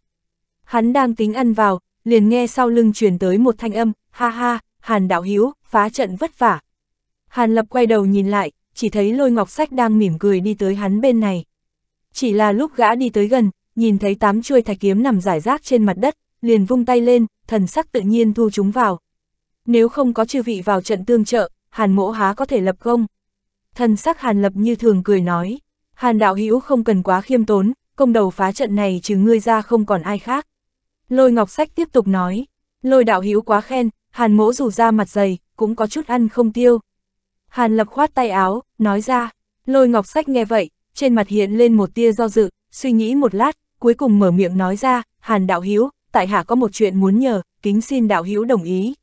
Lôi đạo Hiếu có chuyện gì, cứ nói đừng ngại. Trong lòng Hàn Lập mặc dù đã suy đoán, vẫn ra vẻ không biết, nói ra. Thời điểm đạo Hiếu phá trận hẳn là đã nhìn thấy một bộ trận đồ kiếm trận, đó là chấn tông chi bảo của thông thiên kiếm phái chúng ta thất truyền đã lâu, mong rằng đạo Hiếu có thể để vật quy nguyên chủ. Đương nhiên, thông thiên kiếm phái chúng ta cũng sẽ xuất ra thành ý lớn nhất, đền bù tổn thất cho đạo Hiếu. Lôi ngọc sách chắp tay thi lễ, mở miệng nói ra. Hàn Lập nghe vậy, trao mày lại, trên mặt hiện ra vẻ kinh ngạc, hỏi, từ lúc ta nhập kiếm trận về sau, vẫn một mực bị nhốt, đến tận đây mới khó khăn lắm thoát thân nhưng cũng không thấy trận đồ hay đồ vật gì khác. Hàn đạo Hiếu, mặc dù tòa kiếm trận này phẩm giai cực cao, nhưng đối với đạo Hiếu bất quá chỉ là một tòa kiếm trận uy lực to lớn mà thôi, còn với tông môn chúng ta lại có ý nghĩa hết sức đặc thù. Nếu đạo hữu có thể khẳng khái trả lại, ta nguyện lấy một kiện ngũ phẩm tiên khí làm tạ lễ, đồng thời còn nguyện mời đạo hữu đảm nhiệm cung phụng nhưng không phải ký danh ở thông thiên kiếm phái chúng ta, hưởng thụ đãi ngộ như nội môn trưởng lão. Lôi Ngọc Sách nghe vậy, tựa hồ đã sớm đoán ra chuyện này, thần sắc không đổi, tiếp tục nói. Tạ lễ này đối với bất luận kẻ nào đều là một bút thiên đại tài phú, nhất là chuyện đảm nhiệm cung phụng thông thiên kiếm phái, lôi ngọc sách hoàn toàn cấp ra thành ý lớn nhất, có thể không phải là ký danh ở tổ sư đường, cũng không cần phụ trách sự vụ tông môn, cũng không làm bại lộ hành tung hàn lập, đồng thời còn được cung phụng không ngừng như trưởng lão. Nhưng mà những thứ này đối với hàn lập lại giống như gân gà, sau việc này, hắn căn bản không thể tiếp tục lưu lại kim nguyên tiên vực, thậm chí chính bản thân hắn cũng không biết phải đi phương nào. Trọng yếu nhất chính là thông thiên kiếm trận này thực sự quá hợp khẩu vị của hắn, nếu có thể dùng thanh trúc phong vân kiếm của hắn thi triển, với hắn tất nhiên là một trợ lực rất lớn. Hảo ý lôi đạo hữu tại hạ tâm lính, chỉ là thực sự không biết đạo hữu nói trận đồ là vật gì. Ta thực sự ham muốn các loại chỗ tốt của đạo hữu nhưng thực sự không thể nào ưỡn ngực nghiêm mặt lừa gạt đạo hữu Hàn Lập tỏ vẻ tiếc nuối, nói ra, Hàn đạo hữu người thật chưa từng thấy qua trận đồ ở tế đàn này. Lôi Ngọc Sách nghe vậy, lông mày lơ đãng kích động một chút, nhíu mày hỏi. Đồng thời trong lòng gã cũng nổi lên nghi ngờ, thật chẳng lẽ không có ở nơi này. Không có, trên tế đàn này chỉ có 8 chuôi thạch kiếm, ta còn chưa kịp xem xét đã bị ngươi thu vào rồi. Hàn Lập cười khổ một tiếng, nói ra, lôi ngọc sách nghe vậy, thần sắc hơi ngưng tụ, hai mắt nhìn chằm chằm Hàn Lập, tựa hồ muốn nhìn ra dị dạng gì trên mặt hắn. Nhưng mà Hàn Lập lại chấn định tự nhiên, không có chút sơ hở nào. Lôi đạo hiếu, nếu không còn chuyện gì khác, chúng ta hay là xem trước một chút tuế nguyệt điện này còn có cấm chế gì khác không, như thế nào? Hàn Lập chuyển chủ đề nói, lôi ngọc sách cho mày, gật đầu trầm ngâm một hồi lâu, bỗng nhiên hai tay bấm pháp quyết, trong miệng vang lên một trận thanh âm ngâm tụng. Theo thanh âm này vang lên, một khối ngọc bài màu trắng bên hông gã bỗng nhiên sáng lên, phía trên hiện ra một đạo phù văn phức tạp. Hàn Lập đã xoay người rời đi, bỗng nhiên cảm nhận được sau lưng truyền đến một trận ba động cổ quái, lập tức cúi đầu xem xét, liền phát hiện nhẫn chữ vật trên tay mình lóe lên hào quang. Khối bát giác ngọc bàn kia đang được giấu trong nhẫn chữ vật này. Hàn đạo hữu người thật không muốn trả lại. Thanh âm lôi ngọc sách từ phía sau truyền đến, bí cảnh đoạt bảo đều dựa vào bản sự. Lúc trước không tranh với người những thạch kiếm kia đã coi như biểu lộ thiện ý, lôi đạo hữu tội gì hùng hổ dọa người. Ngươi nếu thực sự không bỏ qua được, đại khái có thể thử tranh đoạt một chút, hàn mỗ cũng không ngại lấy thêm những thạch kiếm kia về. Hàn lập cũng không quay đầu lại, chỉ nghiêng người, lạnh lùng nói ra. Một câu nói xong, hắn liền xuyên qua quảng trường, tự mình leo lên thềm đá trước tòa đại điện nguy nga kia, từng bước một đi lên trên. Lôi ngọc sách đứng ở tại chỗ, thân sắc ngưng trọng, trong mắt lóe lên vẻ phức tạp. Lúc này, cảnh tượng mây vàng kỳ dị trên quảng trường đã bắt đầu dần dần tiêu tán, thân ảnh đám người còn lại cũng từ đó nổi lên, bắt đầu chạy tới bên này. Lôi ngọc sách liếc qua đám yêu ma do kỳ ma tử dẫn đầu, khẽ thở dài một hơi, đè nén tức giận trong lòng. Dù sao dòm ngó bộ trận đồ kiếm trận kia vốn xuất phát từ tư tâm của gã, bây giờ trong đại điện này còn có chuyện trọng yếu hơn chờ gã đi làm chương 1109, Đạo binh trận, Hàn Lập bước lên bậc thềm đá cuối cùng, đi tới trước đại điện, đánh giá trên dưới một lượt, chân mày không nhịn được nhíu lại. Tòa đại điện trước mắt này, trên mỗi viên đá đều khắc một đạo phù văn, trên mỗi cây cột hành lang cũng đều viết một đạo phù văn, rậm rạp chằng chịt, cộng hưởng và kết hợp với nhau tạo thành một tòa phù trận to lớn. Kiểu dạng phù văn này không khó nhận ra, đại khái dùng để củng cố đại điện, khiến cho tòa tuế nguyệt điện này giống như một món pháp bảo vậy mức độ vững chắc thậm chí vượt xa một số pháp bảo cao cấp. Thế nhưng, cửa đại điện ngay cả một cấm chế pháp trận cũng không có. Hàn Lập đưa tay lên đẩy cửa, hai cánh cửa điện nặng nề mở vào bên trong. Hắn bước một bước qua ngưỡng cửa, tiến vào trong điện, ánh mắt đảo qua bốn phía. Chỉ thấy không gian trong đại điện lớn hơn rất nhiều so với hắn tưởng tượng, đối diện có thể thấy một thạch đài năm cạnh to lớn, đáy lớn đỉnh nhỏ, nhìn khá giống cái đấu vuông nằm úp trên mặt đất.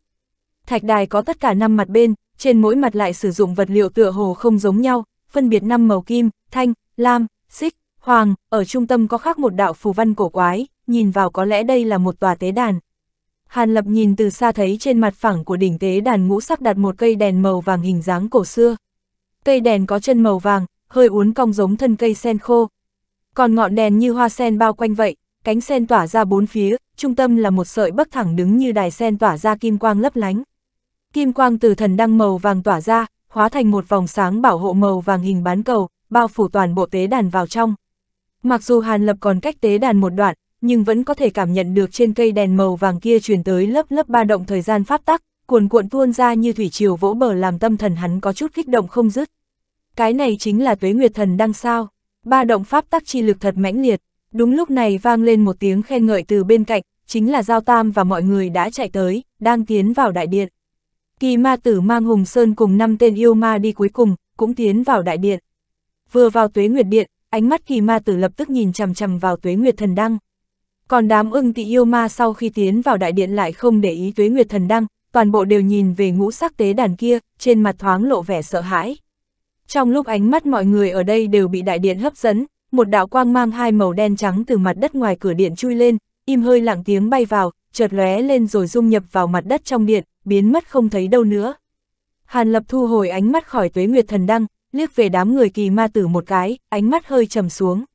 Hàn đạo hữu ta có một đề nghị, ở trong tuế nguyệt điện này ta và ngươi tạm thời gác lại tranh chấp lúc trước, thế nào? Lúc này, kỳ ma tử bỗng nhiên chủ động truyền âm nói. Ta cũng đang có ý đó. Hàn Lập nghe vậy, không chậm trễ trả lời.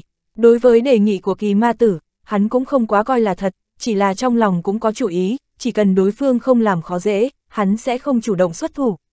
Dù sao giờ phút này trong đại điện thực sự tốt xấu lẫn lộn quá mức, tất cả mọi người đều theo đuổi tâm tư của mình, nếu hắn và kỳ ma tử nổi lên xung đột, tự nhiên là trăm cái hại mà không một cái lợi. Đối với Hàn Lập, bất kể là thù oán với kỳ ma tử, hay là ham muốn tuế nguyệt thần đăng, đều phải xếp sau an nguy bản thân, bất kể ở tình huống nào, bảo vệ tính mạng mới là điều quan trọng nhất. Bổn mạng bài đang ở chỗ đó. Hồ Tam đi tới bên cạnh hai người Hàn Lập, bỗng nhiên nói. Hàn Lập rời mắt nhìn qua, liền thấy trong chỗ bóng phía dưới kim quang của tuế nguyệt thần đang có đặt ngay ngắn ba lệnh bài đỏ như máu to bằng bàn tay, trên đó truyền ra lớp lớp khí tức sinh mệnh cường đại. Không cần suy nghĩ nhiều, đây hẳn là bổn mạng nguyên bài của nhóm ba người lợi kỳ mã và khúc lân. Bên cạnh ba tấm bổn mạng nguyên bài còn để một khối thiết bài màu đen hình tam giác, trên đó tựa hồ cũng khắc phù văn gì đó, chỉ là nhìn hết sức mơ hồ, không cách nào thấy rõ. Hàn Lập để ý thấy ánh mắt giao tam ngoại trừ hơi để ý trên tuế nguyệt thần đăng thì nhìn ra phía ngoài khá nhiều, nhiều thời điểm đều chú ý tới vật này. Hắn định mở miệng hỏi, nhưng sau khi suy nghĩ lại không hỏi nữa. Trên mặt phẳng ở đỉnh tế đàn, trừ những vật này ra còn có một cuốn sách màu vàng được cuốn tròn lại, dùng một sợi tơ vàng buộc lại một cách đơn giản, nhìn vào không thể biết trên đó viết cái gì. Khi lôi ngọc sách nhìn tới cuốn sách màu vàng này, trong mắt rõ ràng thoáng kích động. Gã cùng văn trọng liếc nhìn nhau, mắt người kia cũng đầy vẻ mừng rỡ gật đầu một cái. Nhìn qua chắc hẳn là một vật trọng yếu đối với thông thiên kiếm phái bọn họ. Ánh mắt hàn lập lướt qua mọi người một lượt, trong lòng bỗng nhiên nổi lên một nghi vấn, lúc trước khúc lân tiến vào đầu tiên, giờ phút này đang ở đâu? Hắn vẫn còn đang nghi ngờ, thì bỗng nhiên kỳ ma tử mở miệng nói với mọi người, chư vị. Lão vừa mới mở miệng, toàn bộ đại điện bỗng nhiên chấn động kịch liệt, cánh cửa điện vốn đang mở tự động đóng lại. Cùng lúc đó, bốn phía đại điện bắt đầu có kim quang chói mắt rực rỡ chiếu rọi. Từng trận ba động thời gian pháp tắc mãnh liệt ngay sau đó bao phủ bốn phía lại, hư không xung quanh tựa hồ cũng theo đó bắt đầu vặn vẹo theo. Mọi người chợt cảm thấy bản thân bị bọc trong một mảnh không gian màu vàng, tốc độ trôi đi của thời gian ở xung quanh nhất thời cực kỳ chậm chạp, mà suy nghĩ và thần niệm của bọn họ đều bị hạn chế cực lớn, cả người đều trở nên chậm chạp đi mấy phần. Hàn Lập không nói hai lời bấm niệm pháp quyết, quanh thân đại phóng kim quang, nhanh chóng mở rộng ra bốn phía, bao phủ tất cả đám người lui ngọc sách vào bên trong. Gần như trong cùng một lúc, kỳ ma tử cũng sớm tạo ra linh vực để chống đỡ, bao phủ Hùng Sơn và năm tên yêu ma lại. Mọi người tiến vào bên trong thời gian linh vực, tâm niệm chuyển động dần dần khôi phục như thường, chỉ là tốc độ hành động vẫn bị áp chế không ít, không thể linh hoạt như lúc trước. Ngay lúc này, trên mặt đất phía trước mọi người bỗng nhiên hiện ra một vòng sáng hình tròn to lớn. Bên trong tuôn ra hào quang dũng động, lại có từng bóng người mơ hồ, từng người từng người liên tiếp chui ra. Hàn lập định thần nhìn lại, liền phát hiện những bóng người từ dưới đất chui lên kia, từng thân hình cao gầy, tựa như cây trúc, có vẻ không hợp với bộ kim giáp đang mặc trên người. Chúng đi trên đường phát ra từng tiếng len keng, không ngờ tất cả đều là đạo binh. Những đạo binh này nhìn gầy gò vô lực nhưng thực tế trên mỗi thân đều truyền ra khí tức không kém. Mà khiến cho mọi người kinh ngạc chính là những đạo binh này sau khi leo lên mặt đất, lại không như ong vỡ tổ lao về phía bọn họ chém giết mà lại đâu vào đấy chia đều thành các đội ngũ, bao vây bọn họ lại tầng tầng. Bọn chúng đang, Lam Nguyên Tử trao mày, nghi ngờ hỏi. Bày trận, Hàn Lập chậm rãi nói. Lúc mọi người còn đang kinh ngạc, những đạo binh đã dựa theo một thế trận đặc biệt lao tới, vây mọi người vào giữa. Pháp trận đạo binh vừa hoàn thành, trên người mỗi đạo binh kim giáp đều sáng lên một mảng kim quang chói mắt. Hàn Lập bị kim quang này chiếu vào mắt gây đau nhói, hắn nhanh chóng nhíu lại, thúc giục thần thông cửu U Ma Đồng. Dưới ánh sáng màu tím từ sâu trong con người sáng lên, quang mang chói mắt khiến người ta không thấy nhìn thẳng kia như bị ngăn cách bởi một lớp màn màu tím, không còn gây nhức mắt nữa. Những người còn lại thấy vậy, cơ hồ cũng đều tự thi triển thủ đoạn, có người dùng thần thông linh mục, có người lại lấy pháp bảo, khí vật để ngăn cách, nhìn về phía xung quanh kim quang. Ánh mắt Hàn Lập đảo qua một lượt, thấy giữa kim quang, áo giáp trên người kim giáp đạo binh gầy như cây trúc kia bắt đầu toát ra từng đạo phù văn màu sắc khác nhau. Sau khi chúng bay khỏi thân thể, hóa thành mảng hào quang màu sắc không đồng nhất, chảy ngược lại nhập vào trong thân đạo binh. Theo dị quang vào cơ thể, những đạo binh này nhất thời phát sinh biến hóa thập phần kỳ quái. Trong đó một đội đạo binh được thanh quang chui vào cơ thể, thân thể phồng lớn rất nhiều, giống như là xung khí làm cơ thể phồng lên gấp đôi, trong tay ngưng tụ ra một thanh trường kiếm màu xanh. Một đội đạo binh gần đấy được hoàng quang nhập vào cơ thể, thân hình phồng lớn gấp 3 lần. Cả người trên dưới được hoàng quang bao lấy toàn thân, lập tức sinh ra từng khối nham thạch như kim cương, biến thành một người đá thân thể cường tráng, trong tay xuất hiện một cái chùy đá to lớn dài ngang người.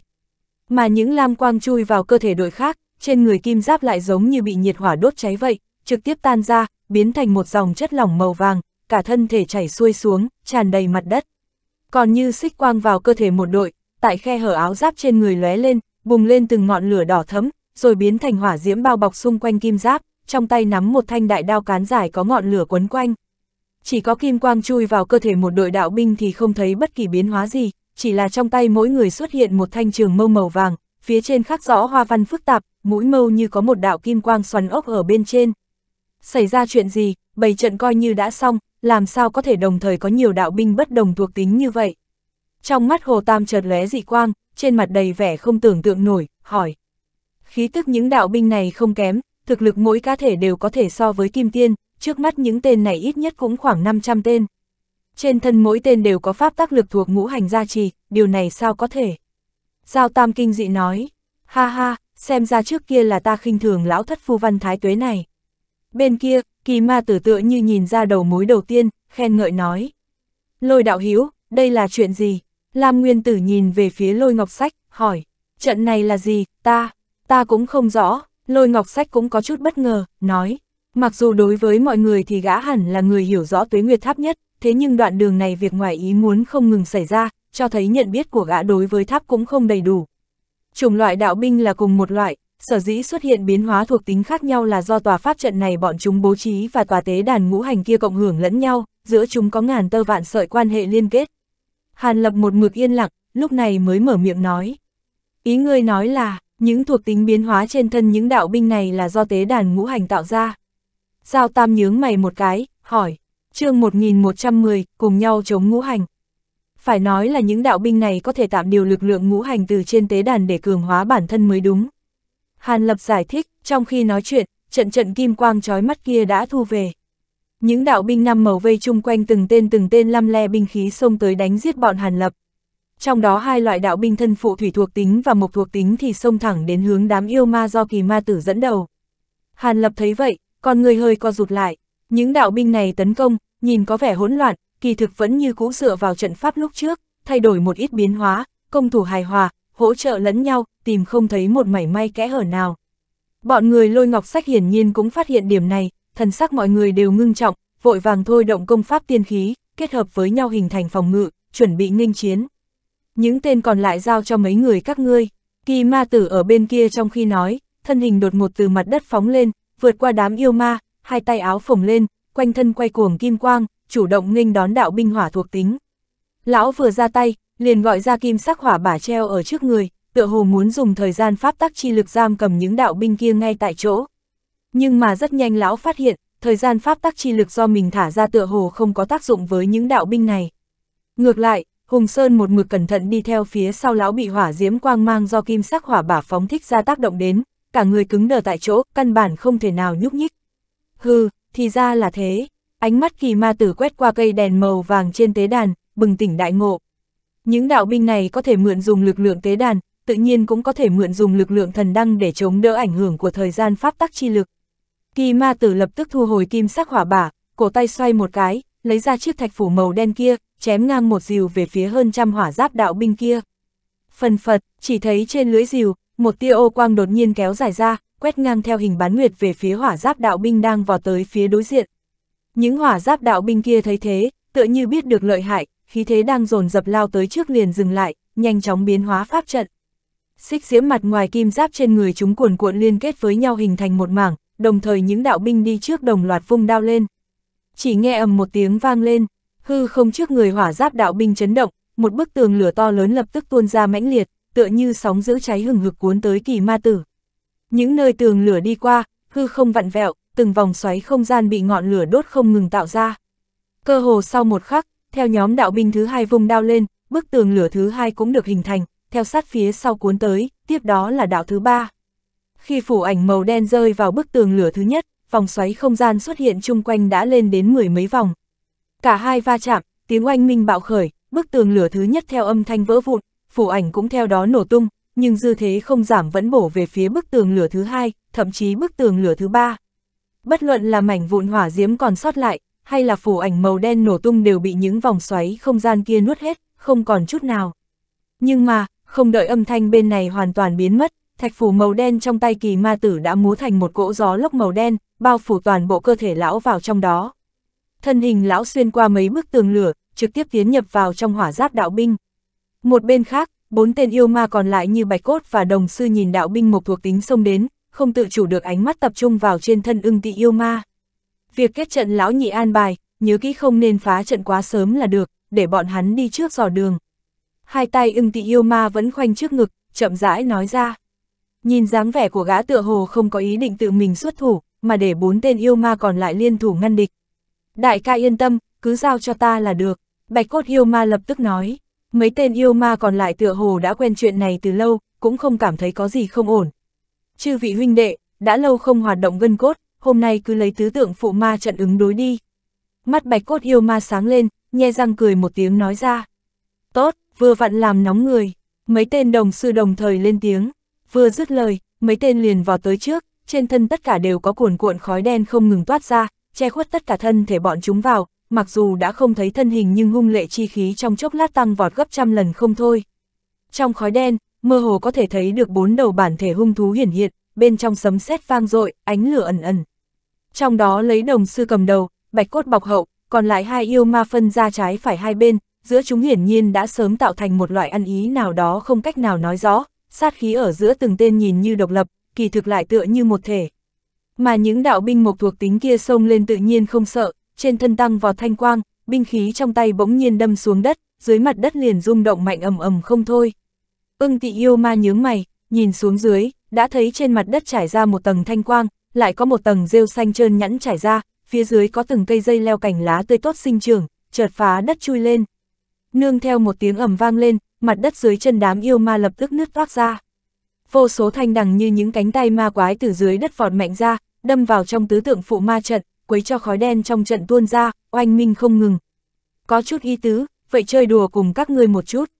Ưng tị yêu ma lẩm bẩm một tiếng, hai tay duỗi ra hai bên. Trên thân y bỗng nhiên nổi lên một tầng ma diễm màu đen, tiếp theo cả người tựa như hùng ưng nhún người nhảy lên, cũng xông vào trong trận. Ngay lúc kỳ ma tử và năm yêu ma hỗn chiến cùng đạo binh, bên Hàn Lập cũng đồng thời bộc phát giao phong với đám đạo binh còn lại. Huynh muội Lam Nguyên tử chém giết cùng những đạo binh trên thân kéo ra chất lỏng màu vàng kia. Trên thân hai người đều lóe ra ánh sáng màu lam, tiên linh lực cả hai tựa hồ thông qua một loại bí thuật liên hợp cùng nhau. Lúc bốn cánh tay hai người huy động, trước người liền có dòng nước liên tục tuôn trào ra, không ngừng ngăn chặn chất lỏng màu vàng chảy tới, ở trong bốc lên trận trận khói trắng, bên trong tản ra một cỗ hương khí mê huyễn làm cho thần hồn dao động. Cùng lúc đó, lôi ngọc sách liên thủ với Văn Trọng và Tô An Thiến, ứng phó những thạch đầu cự nhân kia. Song phương cũng đánh đến bất phân thắng bại, những thạch đầu đạo binh ngược lại là không có thần thông gì cổ quái cả, chỉ là thân hình vốn thập phần kiên cố mà sức mạnh lại cực lớn, sau khi kết trận càng vững như thành đồng. Mỗi một lần chúng bị đánh tan thì trong khoảnh khắc lại khôi phục nguyên trạng, tựa như bất tử chi thân, khá là khó giải quyết. Mà Hàn Lập giờ phút này đang liên thủ cùng Giao Tam và Hồ Tam, đối phó những đạo binh cầm trong tay trường mâu màu vàng. Áo giáp trên thân bọn gia hỏa này rất chắc chắn, không hề kém so với những thạch đầu đạo binh kia. Trường mâu trong tay chúng càng thêm cổ quái, mỗi một lần đâm ra, mũi nhọn kim quang xoắn ốc sẽ như mũi tên bắn ra chẳng chịt. Hơn nữa, kim quang này cực kỳ sắc bén, giống như có thể xé rách hư không.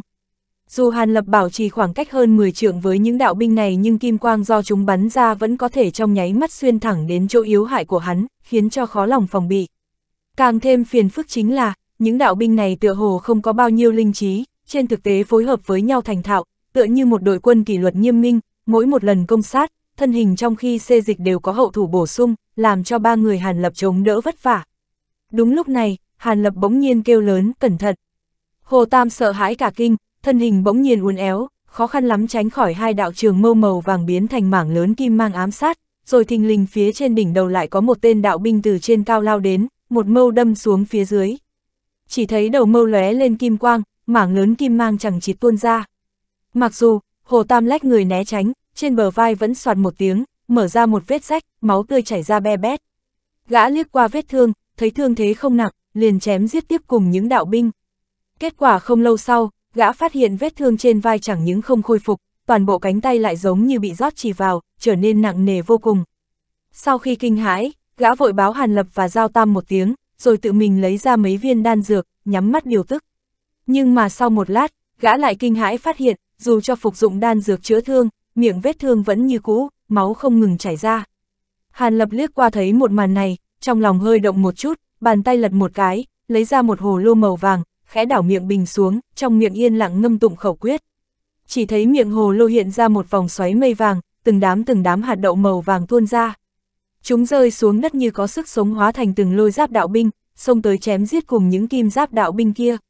Những đạo binh của Hàn Lập có đẳng cấp kém xa kim giáp đạo binh, tự nhiên không cách nào chống lại, chỉ là số lượng lớn hơn khá nhiều, phối hợp với Giao Tam nên tạm thời có thể giúp hắn ngăn trở thế công của kim giáp đạo binh. Hồ Tam đạo hữu chớ hoảng sợ, Hàn Lập tạm thời thoát thân ra, lập tức lách mình đi tới bên cạnh Hồ Tam. Kim quang của đạo binh này thật sự cổ quái, vết thương nho nhỏ vậy mà không ngừng chảy máu, còn làm cánh tay ta trở nên nặng nề, cơ hồ không cách nào nâng lên được. Các loại đan dược chữa thương như thanh linh đan vậy mà cũng không có hiệu quả. Hồ Tam trao mày, nói ra, Hàn Lập nghe vậy, trao mày, bàn tay nhấc lên, trong lòng bàn tay liền có một mảnh kim quang sáng lên, khẽ vuốt lên trên miệng vết thương của Hồ Tam. Theo kim quang lập lòe đi qua, miệng vết thương ngưng tụ quang mang, rồi hiện ra hư ảnh một gốc cây nhỏ, phía trên truyền ra trận trận ba động thời gian pháp tắc nồng đậm. Thình linh chính là đông ất thần mộc của Hàn Lập. Sau khi cây này hiển hiện, quang ảnh dễ cây xâm nhập vào vết thương Hồ Tam, thân cây chập chờn, nhộn nhạo lên tầng tầng gợn sóng màu vàng, lập tức liền có một cảm giác nóng rực từ miệng vết thương truyền đến. Hồ Tam thấy thế, nhẹ a một tiếng, kinh ngạc phát hiện cánh tay của mình tựa hồ không còn nặng nề như trước nữa, đồng thời máu trên miệng vết thương tựa hồ cũng ngừng chảy. Thời gian cấp bách, ta chỉ dùng lực lượng thời gian tạm thời phong tỏa ngăn cản vết thương, tạm không ảnh hưởng đến hành động của ngươi, nhưng sau đó ngươi vẫn phải tìm biện pháp khác, hóa giải cỗ lực lượng này ra ngoài. Hàn Lập nói nhanh, như vậy là đủ rồi, đa tạ. Hồ Tam gật đầu nhẹ, cảm ơn. chương 1111, đoạt thần đăng. Hàn Lập xoay người, ánh mắt lướt qua đám kim giáp đạo binh, nhìn lên tòa tế đàn ngũ sắc. Vẻ mặt hắn liên tục biến đổi như đang suy nghĩ điều gì đó. Hàn đạo Hiếu đã nhận ra điều gì rồi sao? Ánh mắt Hồ Tam lóe lên. Hồ Tam đạo Hiếu, đám đạo binh này hoạt động dựa vào lực lượng tế đàn, nếu không nghĩ cách ngăn cách, chỉ sợ càng lúc càng phiền toái. Hàn Lập nói, Hàn đạo Hiếu có biện pháp gì xin cứ nói, đừng ngại. Giao Tam nghe Hàn Lập nói vậy, cũng từ chiến trường lui về, nhíu mày hỏi. Ta muốn dùng linh vực ngăn cản liên hệ của chúng với tế đàn, nhưng nếu chỉ dùng linh vực của ta e rằng chưa đủ lực lượng, cần ngươi giúp ta một tay. Hàn Lập trả lời, được rồi, nhưng chỉ cần thả ra linh vực là được hay sao? Giao Tam lại hỏi, phạm vi linh vực không nên quá lớn, trước tiên tập trung ngăn cản đám kim giáp đạo binh này lại, diệt được chúng là phá được những thứ còn lại. Hàn Lập trả lời, được, chúng ta hành động thôi. Giao Tam nói, đừng vội, để ta thông báo cho những người khác đã. Dứt lời Hàn Lập liền truyền âm cho đám người lôi ngọc sách nói hắn muốn thu nhỏ phạm vi linh vực, để bọn họ kịp thời ứng phó. Sau khi mọi người đáp lại, Hàn Lập lập tức gật đầu với Giao Tam.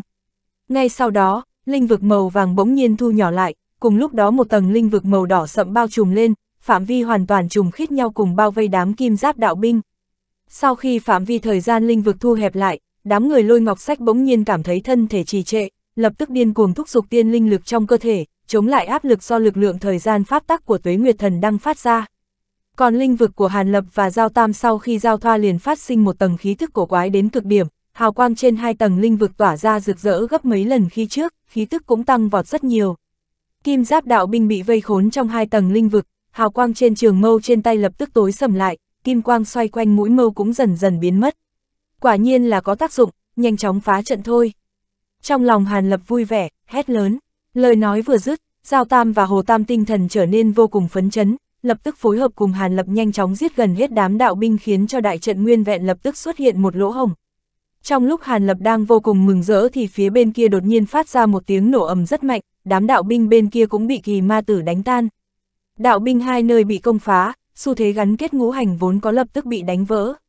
Những chỗ còn lại không thể tiếp tục vận chuyển tự nhiên nên lần lượt bị công phá. Hàn Lập thấy thế vội vàng thu thập đạo binh còn sót lại, đi nhanh về phía trước một bước, định tiến lên tế đàn. Nhưng đúng lúc này, trên mặt đất chính giữa đám đông, bỗng nhiên nổi lên một đạo hào quang nửa đen nửa trắng, một bóng người nửa đen nửa trắng từ dưới đất bay vút lên không một tiếng động. Thân hình nó lóe lên, vượt qua mọi người bay thẳng về phía tế đàn. Hàn Lập tập trung quan sát thì thấy đó là một nữ tử trẻ tuổi mặc một cái áo bảo bằng vải mỏng có hai màu đen trắng. Khuôn mặt ả ta lạnh như băng, trên mặt không có biểu tình gì, trên thân bao phủ một tầng hào quang đen trắng như có như không, bộ dạng thập phần cổ quái. Mà càng làm cho Hàn Lập kinh ngạc hơn chính là dù ánh mắt đều tập trung lên trên người ả, nhưng thần thức của hắn không thể cảm nhận được nửa điểm khí tức, giống như ả ta chỉ là một cái ảo ảnh không tồn tại. Về phần những người khác, tự nhiên cũng không thể phát hiện người này từ trước đến bây giờ ẩn núp ở đâu. Đây là cái gì? Giao Tam cũng cảm thấy ngoài ý muốn, cả kinh kêu lên. Khôi lỗi chứa âm dương pháp tắc thật hiếm thấy, không biết là thủ bút của vị nào ở đây. Kỳ ma tử cười lạnh một tiếng, ánh mắt nhanh chóng quét một vòng, mở miệng hỏi. Đám người lôi ngọc sách nghe vậy, trên mặt đều hiện lên vẻ ù ù cạc cạc, mặc dù không thể nhận ra nhưng cũng vội vàng ngăn cản. Chỉ thấy ả khôi lỗi kia đẩy một trường về phía trước, hào quang từ lòng bàn tay tuôn ra ngưng tụ thành một vòng tròn thái cực lớn chừng ba thước, trên bề mặt hai luồng hào quang đen trắng như hai con cá không ngừng chuyển động chống lại áp lực trên tế đàn, một đường đã lao thẳng lên trên tế đàn. Chỗ bàn tay ả chụp xuống không phải quyển sách màu vàng, không phải thiết bài màu đen, cũng không phải cây đèn màu vàng, mà là ba khối lệnh bài bản mệnh của ba người khúc lân. Dừng tay, Hồ Tam thấy vậy, chợt quát lên một tiếng, chỉ thấy cổ tay gã xoay một cái, thiên hồ hóa huyết đao bỗng nhiên bay ra, chém thẳng lên phía sau lưng bóng người đen trắng kia. Chỉ nghe keng một âm thanh bén nhọn vang lên, một đạo ánh sáng giống như hình loan nguyệt đỏ như máu bắn về phía nữ tử hắc bạch kia. Ả à kia phát hiện sau lưng có biến, cũng không thấy có động tác gì khác, chỉ thấy bàn tay còn lại trước người bấm ra một pháp quyết cổ quái, sau lưng lập tức tuôn ra một mảnh hào quang hai màu đen trắng, trong nháy mắt đã ngưng tụ thành một cái đồ án thái cực song ngư cực lớn. Đạo ánh sáng đỏ như máu chém lên đồ án song ngư lập tức rung động dữ dội, bộc phát ra một mảnh huyết quang chói mắt. Một cỗ lực lượng vô cùng sắc bén theo huyết quang bộc phát ra, cắt nát hư không bốn phía thành từng mảnh nhỏ, quang ảnh trở nên hỗn loạn. Nhưng tiếp theo trong nháy mắt, hai đạo hào quang đen trắng trên đồ án thái cực song ngư bắt đầu xoay tròn rất nhanh, từ đó truyền ra một cỗ ba động kỳ dị, lập tức bên trong xuất hiện một lực hút vô hình thu nạp toàn bộ hào quang đỏ như máu, biến mất vào trong đó không còn gì. Cùng lúc đó, bàn tay nữ tử hắc bạch đã mò xuống phía dưới cây đèn, chụp về phía ba khối lệnh bài huyết sắc. Nhưng chính lúc này dị biến nảy sinh, chỉ thấy cây đèn màu vàng hoa sen trông rất bình thường bỗng nhiên rung động dữ dội, trên thân tỏa ra kim quang chói mắt. Đoạn bắc đèn bên trong cây đèn lay động kịch liệt, ngọn lửa ở trên đột nhiên cháy rực lên. Theo một tiếng ầm truyền ra, ngọn lửa trên bắc đèn tỏa ra một vòng sóng lửa màu vàng như thủy triều khuếch tán ra bốn phía xung quanh. Nữ tử hắc bạch ở gần thần đăng nhất dĩ nhiên chịu ảnh hưởng lớn nhất, một tầng đồ án thái cực vừa hiện ra trước người đã bị ngọn lửa hung hăng đánh trúng, phát ra một âm thanh trầm đục. Cả người ả bắn ngược ra ngoài, bay xuyên qua mọi người nện trên cửa điện. Sau khi rơi xuống đất, nữ tử hắc bạch lập tức lộn một vòng tại chỗ, cả người liền chui xuống dưới đất, biến mất không thấy tung tích. Đám người lôi ngọc sách vốn đang đuổi theo ả theo hướng đó, lúc này thấy sóng lửa mãnh liệt ập đến, nháo nhào lùi lại tránh né nhưng do vội vàng nên chưa kịp chuẩn bị. Lam Nguyên Tử kéo Lam Nhan ra sau lưng, rồi vung tay lên một cái, trước người đột nhiên xuất hiện một cái túi vải màu lam, bên trong túi chuyển ra một tiếng nổ vang sau đó lắc lư một hồi, tuôn ra một luồng sóng nước màu xanh thăm thẳm, hóa thành một màn nước chắn trước người bọn họ. Hỏa diễm bay đến đụng lên màn nước màu xanh lập tức ở giữa nổ tung thành một vầng thủy lôi màu lam. Trong màn điện quang lẫn tia lửa có hai bóng bóng người lùi lại rất nhanh, sau đó rơi lên mặt đất. Lam Nhan không vấn đề gì nhưng Lam Nguyên Tử không nhịn được phun ra một ngụm máu tươi. Ca ca, huynh thế nào rồi? Lam Nhan vội vàng đỡ lấy gã, có chút đau lòng hỏi. Lam Nguyên Tử xua tay, tỏ ý bản thân không có vấn đề gì, lập tức đứng lên thu lại cái túi vải màu lam. So với hai người bọn họ, những người còn lại bị công kích mạnh hơn nhiều, giờ phút này khí tức trên người đều dao động mãi không thôi, khí huyết khó mà bình phục. Năm tên yêu ma da dày thịt béo cũng đồng dạng chịu đau khổ, bị ép lui trở về. Hùng Sơn tự biết thực lực không đủ, vừa rồi cũng không dám đến gần tế đàn, cho nên lúc này bị ảnh hưởng ít nhất. Khác với biểu hiện của mọi người, hai người Hàn Lập và Kỳ Ma Tử không rút lui tránh né công kích của hỏa diễm mà mượn cơ hội hiếm có này tiếp tục lao về phía tế đàn. Chỉ thấy xung quanh Hàn Lập là một bộ bảo vật thời gian pháp tắc năm món như thực chất vây bốn phía, cả người hắn được một cỗ lực lượng thời gian pháp tắc nồng đậm bao quanh, ngạnh kháng công kích của sóng lửa do thần đang phát ra, không ngừng lao tới gần đỉnh thế đàn. Còn kỳ ma tử tuy trước người chỉ có kim sắc hỏa bả lơ lửng, nhưng khác với trạng thái hư hóa của bộ bảo vật của Hàn Lập, ngọn lửa trên bó đuốc hừng ngực bốc cháy, phát ra ba động thời gian pháp tắc còn lớn hơn của Hàn Lập vài phần. Thêm nữa tu vị cảnh giới của lão cao hơn Hàn Lập một bậc nên nhanh hơn Hàn Lập một bước, đã đi lên tới tế đàn. Hai mắt lão tràn đầy kim quang, trong con người lão phản chiếu hình ảnh một cây đèn hoa sen đặc biệt tạo hình phong cách cổ xưa. Khắc khắc, tuế nguyệt thần đăng cuối cùng đã thuộc về ta. Kỳ ma tử vẻ mặt tràn ngập vui sướng, cao giọng nói. Trong khi đang nói, cánh tay lão vốn đã khác hẳn với người bình thường, lúc này bao phủ một tầng kim quang, lần mò tới tuế nguyệt thần đăng. Chỉ thấy cánh tay lão một phát bắt được thần đăng, bàn tay nhấc lên như muốn cầm lấy.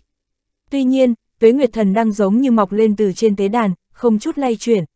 Kỳ ma tử nhướng mày, tiên linh lực trong cơ thể điên cuồng tuôn ra, khí tức trên người lập tức tăng vọt, hiển lộ ra toàn bộ tu vị đại la. Rốt quốc, tuế nguyệt thần đăng cũng bị cỗ lực lượng này lay chuyển, thân đèn nghiêng về một bên. Bên trong cây đèn, nhoáng một cái, một chút dầu thắp màu vàng bị đốt qua bấc đèn văng ra bên ngoài. Kỳ ma tử thấy vậy, trong lòng tràn đầy sợ hãi, kim sắc hỏa bả trước người lập tức bay đến trước ngực, dung nhập vào trong cơ thể lão. Cùng lúc đó, kim quang trên cánh tay đang nắm lấy thần đăng lập tức sáng rực, một ngọn lửa xoắn ốc màu vàng hình dáng như hỏa long quấn quanh cánh tay cuồn cuộn bốc lên bao bọc lấy cả nắm tay lão. Tia lửa từ dầu thắp văng ra tung tóe, sau khi rơi xuống đất, trong nháy mắt bỗng nhiên bạo phát, hóa thành một mảnh lửa vàng nóng rực, đánh tới cánh tay kỳ ma tử đang được ngọn lửa xoắn ốc bao quanh. Hai loại hỏa diễm đều ẩn chứa lực lượng thời gian pháp tắc, thời điểm chạm vào nhau liền xuất hiện một màn kinh người. Ngọn lửa quấn trên cánh tay kỳ ma tử chẳng qua chỉ cháy được một lát rồi bỗng nhiên co rụt lại, chui vào trong cơ thể, mà cánh tay lão lập tức bị sóng lửa thôn phệ, trong tích tắc đã biến thành than. Nhân lúc kỳ ma tử rằng co với thần đăng, lúc này Hàn Lập đang theo sát phía sau, bàn tay lập tức chụp tới những vật khác phía trên tế đàn. Không tốt, kỳ ma tử thét lên một tiếng kinh hãi. Cánh tay lão đã bị cháy đen đến tận bả vai lúc này đã đứt rời, nhưng cánh tay còn lại nhanh như điện chớp thò ra, chộp đến vài vật còn sót lại trên tế đàn. Hàn Lập khua tay một cái, quyển sách màu vàng vốn được cuốn làm một bó và hai cái huyết sắc lệnh bài bị hắn thu vào tay. Còn lại khối thiết bài màu đen và một cái huyết sắc lệnh bài cuối cùng thì rơi vào tay kỳ ma tử. Hai người tự nhiên đều không nguyện ý để đối phương chiếm được nhưng lúc này không thể xảy ra tranh chấp. Nhận thấy trên tuế nguyệt thần đăng không ngừng xuất hiện dị trạng, bọn hắn không chút do dự phi thân trở về, đáp xuống mặt đất chương 1112, Đạo giận chân nhân. Vào thời khắc này, trên vách tường bốn phía đại điện hiện ra vô số điểm sáng màu vàng óng, chấp hiện không ngừng. Sau đó tất cả điểm sáng bỗng nhiên đại phóng kim quang. Kim quang đan vào nhau, hóa thành một màn sáng màu vàng thật dày bao phủ toàn bộ đại điện vào trong, cả mặt đất và nóc điện cũng giống như vậy, hiện ra một tầng kim quang nồng đậm. Màn sáng này dày đặc phảng phất như thực chất, đồng thời mặt ngoài linh quang màu vàng chấp động như gợn sóng, cho người ta một cảm giác không thể phá vỡ. Không gian ba động trong đại điện càng ngưng thực, triệt để ngăn cách liên hệ với bên ngoài, tạo thành một không gian hoàn toàn độc lập. Cùng lúc đó, ngọn lửa của tuế nguyệt thần đang trên tế đàn lần nữa đại thịnh, màu sắc chuyển thành màu vàng, tản ra thời gian pháp tắc mạnh hơn không ít so với trước đó. Phật một tiếng, chín đầu hỏa diễm hình rồng từ trong ngọn lửa bắn ra, đánh tới hai người Hàn Lập. Kỳ ma tử đã ăn một lần thua thiệt, nào còn dám dây dưa cùng những hỏa diễm hình rồng có uy lực rất lớn này, thân hình lập tức bắn ngược ra sau. Hàn Lập kinh ngạc với biến hóa chung quanh, nhưng động tác cũng không chậm chút nào, lui ra sau còn nhanh hơn cả kỳ ma tử, lóe lên bay vụt ra mấy trăm trượng cách xa tế đàn, rơi trên mặt đất. Hai người vừa rơi xuống đất, đạo binh phụ cận lập tức chen chúc nhào tới. Mặc dù bọn người Hàn Lập đã phá trận pháp đạo binh nhưng số lượng đạo binh còn lại vẫn không ít, chỉ là không có pháp trận liên kết nên uy lực giảm nhiều. Tay Hàn Lập kết kiếm quyết phung lên, bên ngoài thân hiện lên lôi quang màu vàng. Vô số đạo kiếm khí màu vàng vô cùng sắc bén từ trong cơ thể bắn ra, chém tới bốn phương tám hướng. Liên tiếp tiếng trầm đục như mưa rơi trên lá chuối vang lên, đạo binh phụ cận lập tức bị đánh bay ra ngoài, tạo ra một mảng lớn trống trải, nhưng càng nhiều đạo binh như cũ không sợ chết vọt lên. Hàn đạo hữu tới đây, thanh âm giao tam truyền đến. Hàn lập nhìn tới, chỉ thấy cách đó không xa Hồ Tam và Giao Tam đứng tựa lưng vào vách tường đại điện, tự mình tế ra tiên khí bước lui những đạo binh trong phạm vi mấy trượng chung quanh. Thân thể hắn liền lắc một cái liền hóa thành một đạo kim quang bay vụt tới, rơi vào bên cạnh hai người. Thủ đoạn của Hàn đạo hữu quả nhiên cao minh, nhưng không biết hai bản mệnh nguyên bài kia là của hai người nào. Hồ Tam lập tức tới gần hỏi. Hàn Lập nhìn lại hai khối lệnh bài màu máu vừa mới vội vàng bắt được chưa kịp nhìn. Chỉ thấy dưới lệnh bài phân biệt minh khắc một đồ án to bằng móng tay, theo thứ tự là một con tiểu trùng màu vàng và một con ngựa màu trắng. Sắc mặt Hồ Tam lập tức trầm xuống, bỗng nhiên nhìn về phía kỳ ma tử. Giao Tam không hề nhìn ba vật trong tay Hàn Lập, tựa hồ không thèm để ý ba món đồ này, ánh mắt cũng nhìn tới phía kỳ ma tử, trong mắt hiện lên một đạo quang mang kỳ lạ. Lúc này thân hình kỳ ma tử đã rơi xuống gần chỗ năm tên yêu ma kia. Chỗ cụt tay của lão vẫn dính một tầng ánh lửa phảng phất kim quang. Nó nhúc nhích như vật sống, nhanh chóng ăn mòn lên phía bả vai lão, những nơi đi qua huyết nhục đều bị biến thành cho tàn. Đại nhân, cánh tay của người, Hùng Sơn hoảng sợ nói, một chút vết thương nhỏ, không cần lo lắng. Kỳ ma tử hừ một cái, há miệng phun ra một tiểu kiếm màu vàng kim. Chỉ nhoáng một cái, tiểu kiếm màu vàng kim liền biến thành một vệt kim quang khẽ quấn qua đầu vai, cắt xuống một khối nhỏ huyết nhục nơi vai. Miệng vết thương được một tầng kim quang bao phủ, không chảy ra một giọt máu nào. Còn khối nhỏ huyết nhục vừa thoát ly thân thể của lão, lập tức phụt một tiếng, biến thành một lớp cho tàn phiêu tán đi. Sắc mặt kỳ ma tử trầm xuống, lật tay lấy ra một viên đan dược màu xanh lá tỏa ra hương thơm kỳ lạ xông vào mũi. Lão ăn vào, tay cụt hiện ra lục quang lượn lờ, cô động thành một cánh tay mới tinh, không khác trước chút nào. Hàn lập rời ánh mắt khỏi kỳ ma tử, nhìn những chỗ khác trong đại điện, miệng khẽ ổ lên một tiếng. Lúc này Lam Thị Huynh muội đang đứng cách ba người Hàn lập không xa, lưng tựa vách tường giao thủ cùng những đạo binh kia. Nhưng ba người lôi ngọc sách, văn trọng, Tô An Thiến lại không thấy bóng dáng, chẳng biết biến mất từ lúc nào. Hàn Lập đang muốn thi pháp dò xét thì đúng lúc này, hư không trên tế đàn chấp động, trống giống hiện ra vài bóng người. Chính là bọn người lôi ngọc sách, Văn Trọng và Tô An Thiến. Tuy nhiên, ngoại trừ ba người bọn họ, còn có thêm một lão giả lạnh lùng mặc đạo bào, đầu đội vũ quan, dung mạo gầy gò. Trong tay người này cầm một phù lục màu vàng lớn chừng bàn tay. Trên phù lục minh khắc một đồ án kim đăng, giống y đúc tuế nguyệt thần đăng. Phù lục màu vàng sáng lên kim quang lóa mắt, trong kim quang tản mát ra một cỗ thời gian pháp tắc chi lực cường đại, giống như đúc thời gian pháp tắc của tuế nguyệt thần đăng. Lão đạo đội vũ quan lắc phù lục trong tay một cái, lập tức một vệt kim quang từ đó bắn ra, chui vào trong tuế nguyệt thần đăng. Ngọn lửa của đèn đang cháy rừng rực lập tức nhanh chóng thu nhỏ lại, khôi phục trạng thái ban đầu. Những người khác trong đại điện nhìn thấy cảnh này đều sững sờ. Các hạ chẳng lẽ là tông chủ thông thiên kiếm phái, đạo giận chân nhân. Giao Tam nhìn về phía lão đạo đội vũ quan kia, trong mắt hiện ra mấy phần kiêng rè.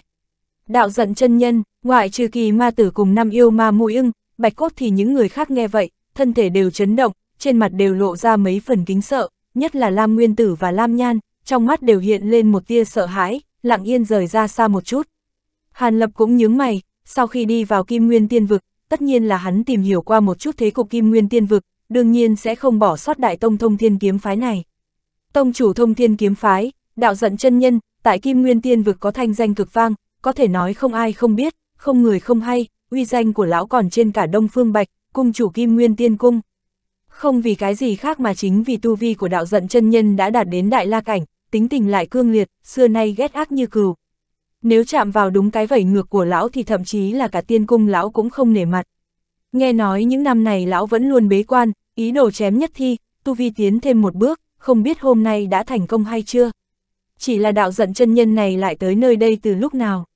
Cửa đại điện sớm đã đóng lại, cho dù tồn tại đại la cũng vô pháp vì tiện ẩn núp tiến vào, hoặc là đạo giận chân nhân này có quan hệ với khôi lỗi nữ tử đen trắng vừa rồi. Bất quá sau một khắc, Hàn Lập ngừng suy đoán, bởi vì lôi ngọc sách đã đưa ra đáp án. Trong miệng gã này lẩm bẩm, vung tay lên, một đạo ngân quang hiện lên trước người gã hóa thành một cánh cửa không gian. Hàn Lập hết sức quen thuộc cánh cửa không gian màu bạc kia, đó chính là cửa vào của pháp bảo không gian. Quang mang màu bạc vừa mới động, ba bóng người hai nam một nữ từ trong cánh cửa không gian bay ra, đứng ở đỉnh tế đàn. Trên thân ba người đều mặc trang phục thông thiên kiếm phái, xem ra đều là người của thông thiên kiếm phái. Hai nam tử theo thứ tự là một lão giả mặt vàng và một thanh niên tóc đỏ. Còn nữ tử sau cùng là một thiếu phụ trẻ tuổi, chỗ nghi tâm khảm nạm một viên tinh thạch màu xanh lá như hạt đậu nành, cho người ta một loại cảm giác vũ mị. Tu vi ba người không yếu, đều là tu sĩ thái ất cảnh trung kỳ. Lôi đạo hiếu, không ngờ trên người các hạ còn có một kiện không gian pháp bảo giấu đạo giận chân nhân và mấy vị này đạo hữu này. Các người đây là ý gì? Giao Tam trầm giọng hỏi, tà ma ngoại đạo, còn mưu toan cướp đoạt bảo vật thuộc kim nguyên tiên vực chúng ta, hôm nay nơi này chính là nơi chết của các ngươi. Lôi ngọc sách không nói gì nhưng đạo giận chân nhân với khuôn mặt tràn đầy chán ghét quét nhìn đám người trong điện một cái, lạnh lùng mở miệng đáp. Lời còn chưa dứt, lão liền vung tay lên, trước người lóe lên hào quang, hiện ra một viên luân bằng ngọc to bằng chậu rửa mặt. Viên luân này chia 5 khu vực, mỗi một khu vực có màu sắc khác nhau, theo thứ tự là kim, lục, lam, đỏ, vàng. Trên mỗi một khu vực đều minh khắc không ít phù văn, nhìn tựa hồ viên luân này là một kiện pháp bảo. Mọi người thấy cảnh này, lùi ngay về phía sau mấy bước, trên thân nổi lên các loại quang mang, mặt lộ vẻ đề phòng. Riêng kỳ ma tử nhìn thấy ngũ sắc viên luân kia thì mặt lộ vẻ kinh nghi, phất tay áo một cái. Trước người lão lóe lên hào quang, cũng hiện ra một khối ngũ sắc viên luân, cơ hồ giống như đúc viên luân của đạo giận chân nhân. Đạo giận chân nhân nhìn thấy cử động của kỳ ma tử, khóe miệng lộ ra một tia trào phúng, một tay bấm niệm pháp quyết, đồng thời trong miệng tụng niệm chú ngữ tối nghĩa.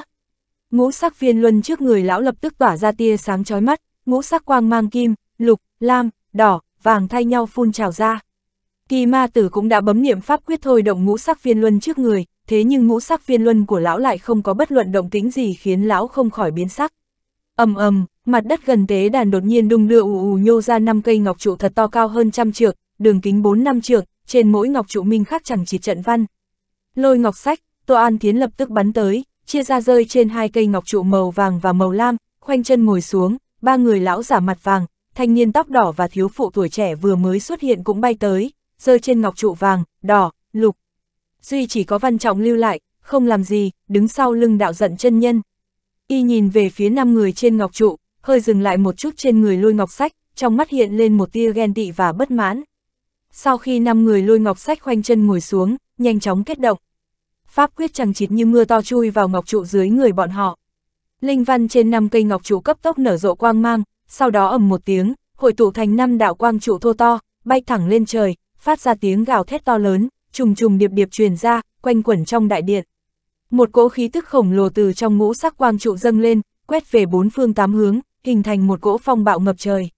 Những nơi đi qua, hư không gần đó vốn cực kỳ ổn định cũng nổi lên trận trận gợn sóng. Những đạo binh trong đại điện phảng phất như lá rụng trong cuồng phong, đều bị phong bạo quét bay, và rầm rầm vào vách tường bốn phía. Mấy người Hàn Lập cũng đứng không vững, bị cơn phong bạo to lớn này trùng kích liên tiếp lui về sau, chạm vào vách tường cung điện mới ngừng lại được, trên mặt tất cả đều biến sắc. Chỉ có kỳ ma tử đứng yên tại chỗ, nhưng giờ phút này sắc mặt lão cũng khó coi. Lão ta nhanh chóng bấm niệm pháp quyết, ý đồ thôi động ngũ sắc viên luân trước người, đáng tiếc viên luân vẫn như cũ không có chút động tĩnh nào.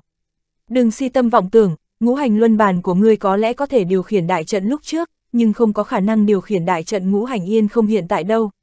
Đạo giận chân nhân liên tục cười lạnh, lúc chữa trị trận nhãn pháp trận, các ngươi đã cải biến kết cấu trận pháp. Kỳ ma tử đã hiểu ra, trên mặt lộ ra vẻ tái nhợt.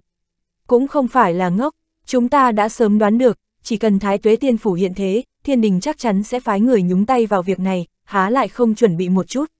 Ha ha, đạo giận chân nhân cười ha ha, tay bấm pháp quyết gấp hơn. Ngũ sắc ngọc trụ dâng lên quang mang càng ngày càng sáng, hơn nữa còn bắt đầu liên kết lại với nhau chương 1113, vây giết, ngũ hành yên không đại trận, nhanh, không thể để bọn chúng khởi động trận này. Giao Tam nghe đạo giận chân nhân và kỳ ma tử nói chuyện, sắc mặt lập tức đại biến, kinh hô. Vừa nói, quanh thân nàng đồng thời phát ra ánh sáng đỏ sậm rực rỡ, lấy khí lưu phong bạo cuồn cuộn đánh mạnh tới quang trụ ngũ sắc kia. Tuy Hàn Lập và Hồ Tam chưa từng nghe tên ngũ hành yên không đại trận này, nhưng nhìn thấy Giao Tam thất thố như vậy, lập tức theo sát phía sau. Đạo giận chân nhân cười lạnh một tiếng, không tỏ ra lo lắng chút nào, tay cầm phù lục màu vàng vung lên. Trong chốc lát, ngọn lửa của tuế nguyệt thần đang lần nữa đại thịnh, hiện ra chín đầu lưu kim hỏa long. Chúng nhanh chóng phồng lớn gấp chục lần, hóa thành chín đầu hỏa long dài trăm trượng đánh về phía ba người Hàn Lập. Ba người Hàn Lập đều đã thấy qua uy lực của lưu kim hỏa long này, vội vàng lách mình tránh né. Giao Tam lộ ra một nụ cười quỷ quyệt, cái miệng xinh đẹp thét lên một tiếng, tay phải vung lên. Một đoàn sáng vàng từ trong tay nàng bắn ra, một đại ấn màu vàng hình vuông vụt qua khe hở giữa chín đầu hỏa long, chớp mắt đã xuất hiện phía dưới năm ngọc trụ. Giao Tam nhanh miệng đọc chú ngữ, ngón tay ngọc điểm vào không trung. Ầm một tiếng trầm đục cực lớn, đại ấn màu vàng bộc phát ra một cỗ linh áp kinh người, đồng thời tỏa ra vạn đạo hào quang màu vàng, rực rỡ đến mức khó có thể nhìn thẳng, còn có tầng tầng phù văn màu vàng huyền ảo khó hiểu lượn lờ không ngừng ở mặt ngoài.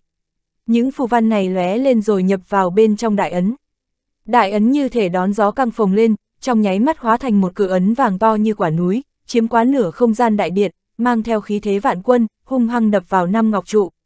So với cự ấn màu vàng, năm ngọc trụ vốn vừa thô vừa to giờ này nhìn như năm chiếc đúa. Hoàng thiên hậu thổ ấn, đáng tiếc người dùng sai chỗ rồi. Sắc mặt đạo giận chân nhân lạnh nhạt, bấm niệm pháp quyết điểm vào ngọc trụ màu vàng một cái. Trên ngọc trụ màu vàng lập tức tách ra một cột sáng, đánh lên trên đại ấn màu vàng kia. Đại ấn chạm vào luồng sáng vàng, hào quang bên ngoài xoẹt một tiếng, bất thình lình biến mất. Đại ấn to như núi cũng nhanh chóng thu nhỏ lại, trong khoảnh khắc trở lại kích thước ban đầu, bay vào bên trong cột sáng màu vàng, lơ lửng trước đỉnh đầu lão giả mặt vàng, xoay tròn không ngừng. Sao vậy, thấy cảnh này, sắc mặt giao tam khẽ biến. Hừ, năm món tiên khí mà các ngươi lấy đi chỉ là một phần của đại trận, bằng không các ngươi nghĩ dễ gì chúng ta cho các ngươi tùy tiện lấy đi. Bây giờ là lúc phải trở về rồi. Đạo giận chân nhân lộ vẻ lạnh lùng, liếc nhìn mọi người, cười nhạt, một tay úp xuống, vỗ lên trên viên bản ngũ sắc. Viên bản ngũ sắc lập tức sáng ngời, cột sáng ngũ sắc xung quanh cũng sáng lên, hơn nữa xoay tròn chấp động, phát ra một cỗ triệu dẫn chi ý. Đại hoang cổ kiếm trong tay Hùng Sơn đột nhiên sáng rực kiếm quang màu vàng, vèo một cái bay về phía cột sáng màu vàng của ngũ hành yên không đại trận, mặc cho Hùng Sơn thi pháp điều khiển như thế nào cũng vô dụng. Túi nhỏ màu lam trong tay Lam Nhan cũng sáng lên mãnh liệt, tản mát ra vạn tia sáng màu lam, thoáng một cái thoát ly khống chế của nàng, bay về cột sáng màu lam. Hầu như cùng một lúc, pháp khí chữ vật của Lam Nguyên Tử lóe lên ánh sáng lục, trong hư không một cây thủ trượng dài hơn hai thước hiện ra, bay thẳng về phía ngũ hành yên không đại trận. Ngón tay Hàn Lập nóng lên dữ dội, sau một khắc hư không bên cạnh tay hắn hơi chấn động. Viên hỏa châu màu trắng kia lăng không hiện ra, nhanh chóng bay tới phía trước mặt. Sắc mặt hắn trầm xuống, đại thủ chộp vào không trung. Hư không vang lên ầm ầm, một bàn tay lớn màu vàng bỗng nhiên lơ lửng xuất hiện phía trên hỏa châu, lăng không chụp xuống, bắt chọn hỏa châu màu trắng trong lòng bàn tay. Tuy nhiên bên ngoài hỏa châu màu trắng lập tức sáng trắng lên, bảy tám cột sáng màu trắng từ trong bắn ra, xuyên thủng bàn tay to lớn màu vàng kia rồi đột nhiên xoắn lại. Xoẹt một tiếng vang nhỏ, bàn tay vàng kia dễ dàng bị vặn nát, hóa thành vô số lưu quang màu vàng tan tác. Biến hóa liên tiếp diễn ra trong nháy mắt, mà hỏa châu màu trắng hầu như không dừng lại, lóe lên chui vào trong cột sáng màu đỏ. Giờ đây ba món tiền khí khác cũng đã bay vào cột sáng ba màu kim, lam, lục đang không ngừng xoay tròn trên đầu đám người lui ngọc sách. Có thêm uy lực từ năm món tiền khí, cột sáng ngũ sắc lại sáng rực rỡ, đồng thời mỗi cột tản mát ra chấn động pháp tắc làm người ta sợ hãi. Khuôn mặt đạo giận chân nhân không chút cảm xúc, tay giơ lên thả ra phù lục màu vàng, há miệng phun tinh huyết, dung nhập vào trong viên bàn ngũ sắc. Cùng lúc đó, hai tay lão xoay tròn bấm niệm pháp quyết, pháp quyết bắn ra như vũ bão, chui vào trong viên bản ngũ sắc. Đám người lôi ngọc sách cũng giống như đạo giận chân nhân, há miệng phun ra tinh huyết, chui vào trong tiên khí trên đỉnh đầu. Hơn nữa, hào quang trên thân mỗi người tỏa ra chói mắt, rót vào bên trong tiên khí trên đầu. Sau khi đạo giận chân nhân thi pháp, viên bản ngũ sắc lóe lên ánh sáng ngũ sắc mấy lần, rồi đột nhiên thu lại. Cột sáng năm màu bên ngoài liên kết lại với nhau, bùm một tiếng, biến thành một màn sáng năm màu hình cầu, bao phủ tế đàn gồm cả mấy người bọn họ vào trong. Biến hóa liên tiếp nói ra thì nhiều nhưng chỉ trong mấy hơi thở liền kết thúc, đám người Hàn Lập cơ bản không kịp trở tay thì mọi thứ đã xong rồi. Đúng giờ phút này, bên ngoài tuế nguyệt điện cũng xảy ra kịch biến. Năm ngọn núi khổng lồ ở năm trận nhãn phát ra âm thanh thật lớn, từ mỗi ngọn núi vọt ra một cột sáng thô to, to gấp trăm lần so với cột sáng trong tuế nguyệt điện, giống như năm cái cột trống trời khổng lồ, phóng thẳng tới chân trời. Tầng mây trên bầu trời lập tức bắt đầu gió dục mây vần, toàn bộ không gian tầng thứ bảy cũng bắt đầu đung đưa ù ù. Thiên địa nguyên khí cuồn cuộn như thủy triều hội tụ về bên năm cột sáng chống trời kia. Một màn sáng ngũ sắc hình cầu khổng lồ lấy năm cột sáng chống trời làm trung tâm chậm rãi hiện ra, bao phủ toàn bộ bầu trời, gồm cả ngọn núi khổng lồ chống trời phía dưới vào bên trong. Một luồng cự lực to lớn từ bên trong màn sáng ngũ sắc phát ra, nhẹ nhàng chấn động một cái, khiến cho hư không xung quanh tan vỡ. Bên trong tuế nguyệt điện, tất cả phong bạo lúc trước giờ này đã dừng lại, nguyên khí dao động đều thu liếm vào trong màn sáng ngũ sắc. Trên màn sáng hiện ra từng dòng linh văn ngũ sắc, tản mát ra ánh sáng ngũ sắc nhu hòa, không chút sát khí, chỉ như một cấm chế bình thường. Tuy nhiên ánh mắt Hàn Lập nhìn vào màn sáng ngũ sắc lại cực kỳ ngưng trọng, thậm chí có cảm giác hãi hùng khiếp vía. Trong pháp khí chữ vật của hắn, thông thiên kiếm đồ đột nhiên sáng rực, phát ra từng tiếng kêu về phía màn sáng ngũ sắc, lộ ra ý tứ muốn phân cao thấp. Hàn Lập cảm nhận được bên trong pháp khí chữ vật phát sinh bất thường, hơi ngẩn ra nhưng giờ tình huống cấp bách, hắn cũng không quản những thứ này. Giao tam đạo hiếu, người có vẻ biết sơ lược về ngũ hành yên không đại trận này. Trận này rốt cuộc là pháp trận gì? Hắn nhìn Giao Tam dò hỏi, thanh âm chỉ vang lên gần ba người, không truyền ra ngoài. Hồ Tam nghe tiếng cũng nhìn lại, ngũ hành yên không đại trận là một trong 10 đại kỳ trận thượng cổ, sớm đã thất truyền, vì vậy rất ít người biết rõ, không ngờ nơi đây lại có một tòa. Pháp trận nơi này nhìn qua thấy không hoàn chỉnh, chỉ là sử dụng lực lượng 5 món tiên khí tái phối hợp với pháp trận mới miễn cưỡng tạo ra. Nhưng dù sao đại trận này vẫn có uy lực cường đại, chỉ sợ chúng ta không thể ngăn cản. Sắc mặt Giao Tam có chút khó coi nói, vậy làm sao bây giờ? Chẳng lẽ thật sự bị tên lỗ mũi châu kia giết chết ở đây? Hồ Tam lo lắng hỏi, chuyện đến nước này, chỉ có thể liều chết ngăn cản. Thần sắc Giao Tam nặng nề, im lặng một lát, chậm rãi nói ra. Hồ Tam nghe những lời này, miệng há to, mặt từ từ trở nên trắng bệch. Thần sắc Hàn Lập tuy cũng ngưng trọng nhưng không quá mức tuyệt vọng, ánh mắt băn khoăn, suy nghĩ trong đầu xoay chuyển. Rõ ràng đạo giận chân nhân này đã tính toán, hoặc là không làm, đã làm thì đến cùng, quyết đem nhóm người mình và những yêu ma kia, thậm chí cả kỳ ma tử đều diệt sát ở nơi này. Nhưng hắn cũng nhận ra kỳ ma tử và năm tên yêu ma sẽ không hoàn toàn bó tay chịu chết. Nếu bọn chúng cùng ba người mình có thể đồng lòng, dĩ nhiên vấn đề dễ dàng hơn nhiều. Thế nhưng đạo giận chân nhân hiển nhiên cũng nhìn ra thế cục hiện tại, biết rõ những người ở đây không có khả năng hợp tác. Kỳ ma tử đạo hiếu, lúc trước không phải ngươi nói với chúng ta ngươi có thể lấy được tuế nguyệt thần đăng, hơn nữa còn khống chế được ngũ hành yên không đại trận. Vậy đây là chuyện gì? Bên kia, bạch cốt yêu ma nhìn kỳ ma tử, lạnh giọng truyền âm. Mấy tên yêu ma khác cũng nhìn chằm chằm vào kỳ ma tử, chỉ ưng tị yêu ma coi như bình tĩnh. Lúc trước kỳ ma tử nói với năm người rằng lão có thể khống chế tất cả mọi chuyện bên trong tuế nguyệt điện, cứ đến đây là có thể dễ dàng giết hết đám người hàn lập, cướp đoạt bảo vật trên người bọn hắn, đến lúc đó kỳ ma tử phân cho chúng một nửa bảo vật. Bản thân năm tên yêu ma này rất có lòng tin với thực lực của mình, mới theo kỳ ma tử tới đây, không ngờ tình huống hoàn toàn khác xa như vậy. Sắc mặt kỳ ma tử âm trầm, nhưng không lên tiếng. Hùng Sơn đứng cạnh đấy nhìn qua mấy người, không nói một lời. Trong khi đó, Lam Nguyên Tử và Lam Nhan chứng kiến tình hình màn sáng ngũ sắc, nhanh chóng rời xa tế đàn một khoảng, đi tới gần cửa vào đại điện. Hai người lại không tới gần ba người Hàn Lập hay bảy người kỳ ma tử, dường như không tin đám người Hàn Lập. Giờ này bên trong màn sáng hình cầu, đạo giận chân nhân đã ngừng thi pháp. Sắc mặt lão trắng bệch, như thể thúc dục pháp trận đã tiêu hao rất nhiều nguyên khí, nhưng thần sắc lão lại hưng phấn lạ thường, cuồng nhiệt nhìn quanh màn sáng ngũ sắc. Đạo giận chân nhân lập tức xoay chuyển ánh mắt nhìn về nhóm người Hàn Lập, khóe miệng nhếch lên, nhe răng cười, tay vung lên bấm niệm pháp quyết. Màn sáng ngũ sắc lập tức sáng ngời, phía trên hiện từng điểm tròn lấm tấm, sau đó vô số quang cầu to bằng đầu người từ đó bắn ra, lấy thế lôi đình vạn quân đánh về phía mọi người trong điện. Trên mỗi quang cầu chấp động ánh sáng ngũ sắc, mà mỗi loại hào quang đều tản mát ra pháp tắc chi lực, đúng là kim, mộc, thủy, hỏa, thổ, thuộc ngũ hành.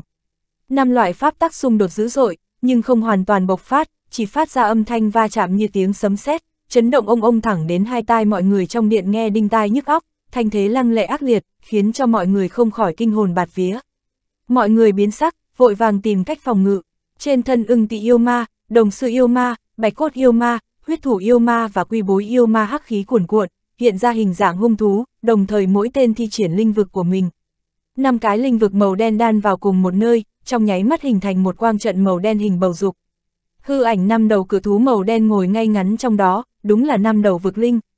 Năm đầu vực linh này cường đại dị thường, miệng phun ra vô số tia chớp và ma diễm đen kịt, chớp động xen kẽ trong quang trận, còn có phù văn màu đen chẳng chịt cuồn cuộn bên trong giúp hắc quang trận được củng cố chắc chắn, gần như ngưng tụ thành thực chất. Năm người bọn chúng lấy linh vực hình thành tứ tượng vực ma trận, là thần thông áp xương của chúng. Không chỉ như thế, ngũ ma há miệng phun ra từng món từng món ma khí màu sắc khác nhau, ước chừng gần trăm món. Mỗi một món đều tản mát ra ma khí vô cùng cường đại, lao vào kết hợp với hắc quang trận, càng làm uy thế tứ tượng vực ma trận lớn hơn. Không biết có phải do năm người ưng tị yêu ma oán hận kỳ ma tử không thực hiện lời hứa lúc trước hay không, tứ tượng vực ma trận lại không bao phủ lấy hai tên kỳ ma tử và hùng sơn, cách hai tên này ra bên ngoài. chương 1114, vô cùng thê thảm. Kỳ ma tử nhìn thấy cảnh này, vẫn không bối rối, ngược lại lộ ra một nụ cười lạnh. Trên người lão đại thịnh kim quang, cuốn ra bốn phía, tạo thành một linh vực màu vàng lớn vài chục trượng, bao phủ cả lão và hùng sơn vào bên trong. Tầng linh vực này cực kỳ nồng đậm, từ bên ngoài không nhìn thấy tình huống bên trong, chỉ có thể mơ hồ nhìn thấy bên trong hiện lên mấy đạo bảo quang, tựa hồ là kỳ ma tử tế ra tiên khí hộ thân gì đó. Lam thị huynh muội tu luyện thủy chi pháp tắc dành nhất về phòng thủ, hai người vốn có chút tự tin có thể ngăn cản được công kích của ngũ hành yên không đại trận, bằng không bọn họ cũng sẽ không lựa chọn một mình hành động. Nhưng khi bọn họ cảm nhận được uy năng của những ngũ sắc quang cầu kia, sắc mặt biến đổi, lập tức mở ra linh vực, đan sen bao trùm vào nhau. Từng sợi pháp tắc tinh ti màu lam từ trong cơ thể hai người bắn ra quấn giao nhau, mơ hồ hòa vào nhau, tạo thành một vòng xoáy màu lam minh mông quanh hai người. Bên cạnh vòng xoáy lóe lên, hiện ra hai vực linh đều là hình dạng nửa người nửa thú, nửa trên là người, nửa dưới là rắn, trong tay còn nắm hai thanh thủy xoa ba mũi lượn lờ lam quang. Hai vực linh vây quanh hai người lam nguyên tử nhanh chóng du tẩu, thủy xoa trong tay vũ động, vô số thủy lôi màu lam từ đó bắn ra, lượn quanh hai người không thôi. Bên này, ba người Hàn Lập đã bày ra trận thế phòng ngự từ lâu. Hồ Tam động thủ trước nhất, cũng lập tức mở ra linh vực, lật tay tế ra thiên hồ hóa huyết đao. Gã đồng thời há miệng phun ra một đoàn tinh huyết, chui vào trong thiên hồ hóa huyết đao. Thân đao lập tức tỏa ra huyết quang vô cùng chói mắt, trong nháy mắt phồng lớn gấp trăm lần, biến thành một thanh huyết sắc cự nhận to chừng mấy chục trường. Hai tay Hồ Tam vội vã bấm niệm pháp quyết, huyết sắc cự nhận lập tức phân ảnh ra, huyễn hóa ra một mảnh huyết sắc đao mạc, bao phủ chung quanh ba người. Cùng lúc đó, bên ngoài thân giao tam lưu chuyển quang mang đỏ sầm, cũng mở ra linh vực. Đồng thời bốn đạo tinh quang đỏ sậm từ trên người nàng bắn ra, chia ra bốn phương tám hướng linh vực thành bốn cánh cổng đỏ sậm. Trên bốn cánh cổng phân biệt viết bốn chữ lớn đông, nam, tây, bắc, tàn mát ra vạn đạo quang mang đỏ sậm, quấn quanh lẫn nhau, hình thành một cái lồng sáng đỏ sậm bảo vệ ba người. Vào lúc này, một mảng lớn hào quang màu vàng từ trên thân Hàn Lập nở rộ ra, hình thành một thời gian linh vực lớn vài chục trượng, như thực chất bao lại hai người giao tam, bố trí ở tầng trong cùng nhất. Đồng thời một đoàn hào quang xanh biếc hiện lên, huyền thiên hồ lô nổi lên trên đỉnh đầu hắn.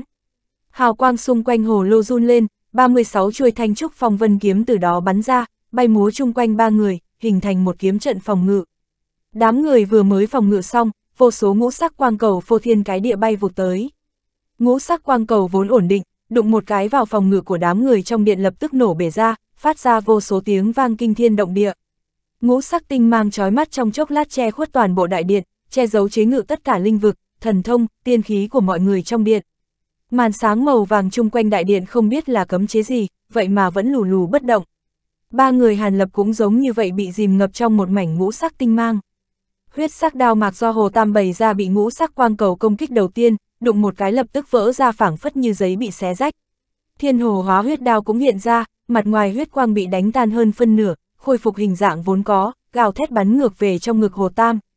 Mà linh vực quanh người Hồ Tam bị ngũ sắc tinh mang xông đến thì lập tức bạo liệt biến mất.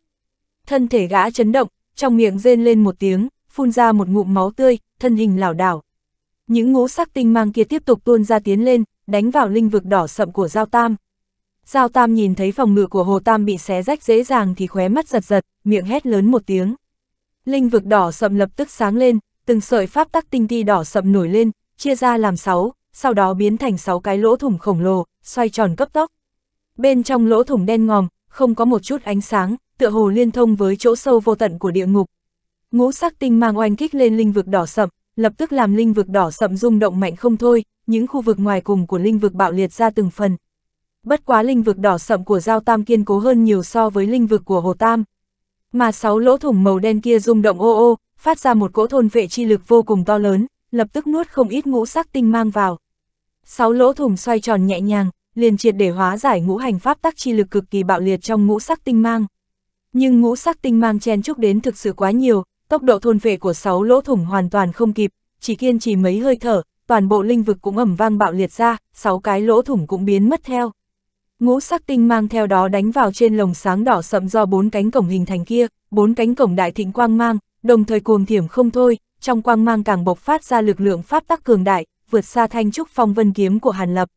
Lồng sáng đỏ sậm lập tức chấp lên kịch liệt, chặn lại ngũ sắc tinh mang. Bất quá ngũ sắc tinh mang công kích thực sự quá mạnh, lồng sáng đỏ sậm cũng chỉ kiên trì mấy hơi thở, nhanh chóng trở nên ảm đạm, ầm ầm vỡ vụn sụp đổ.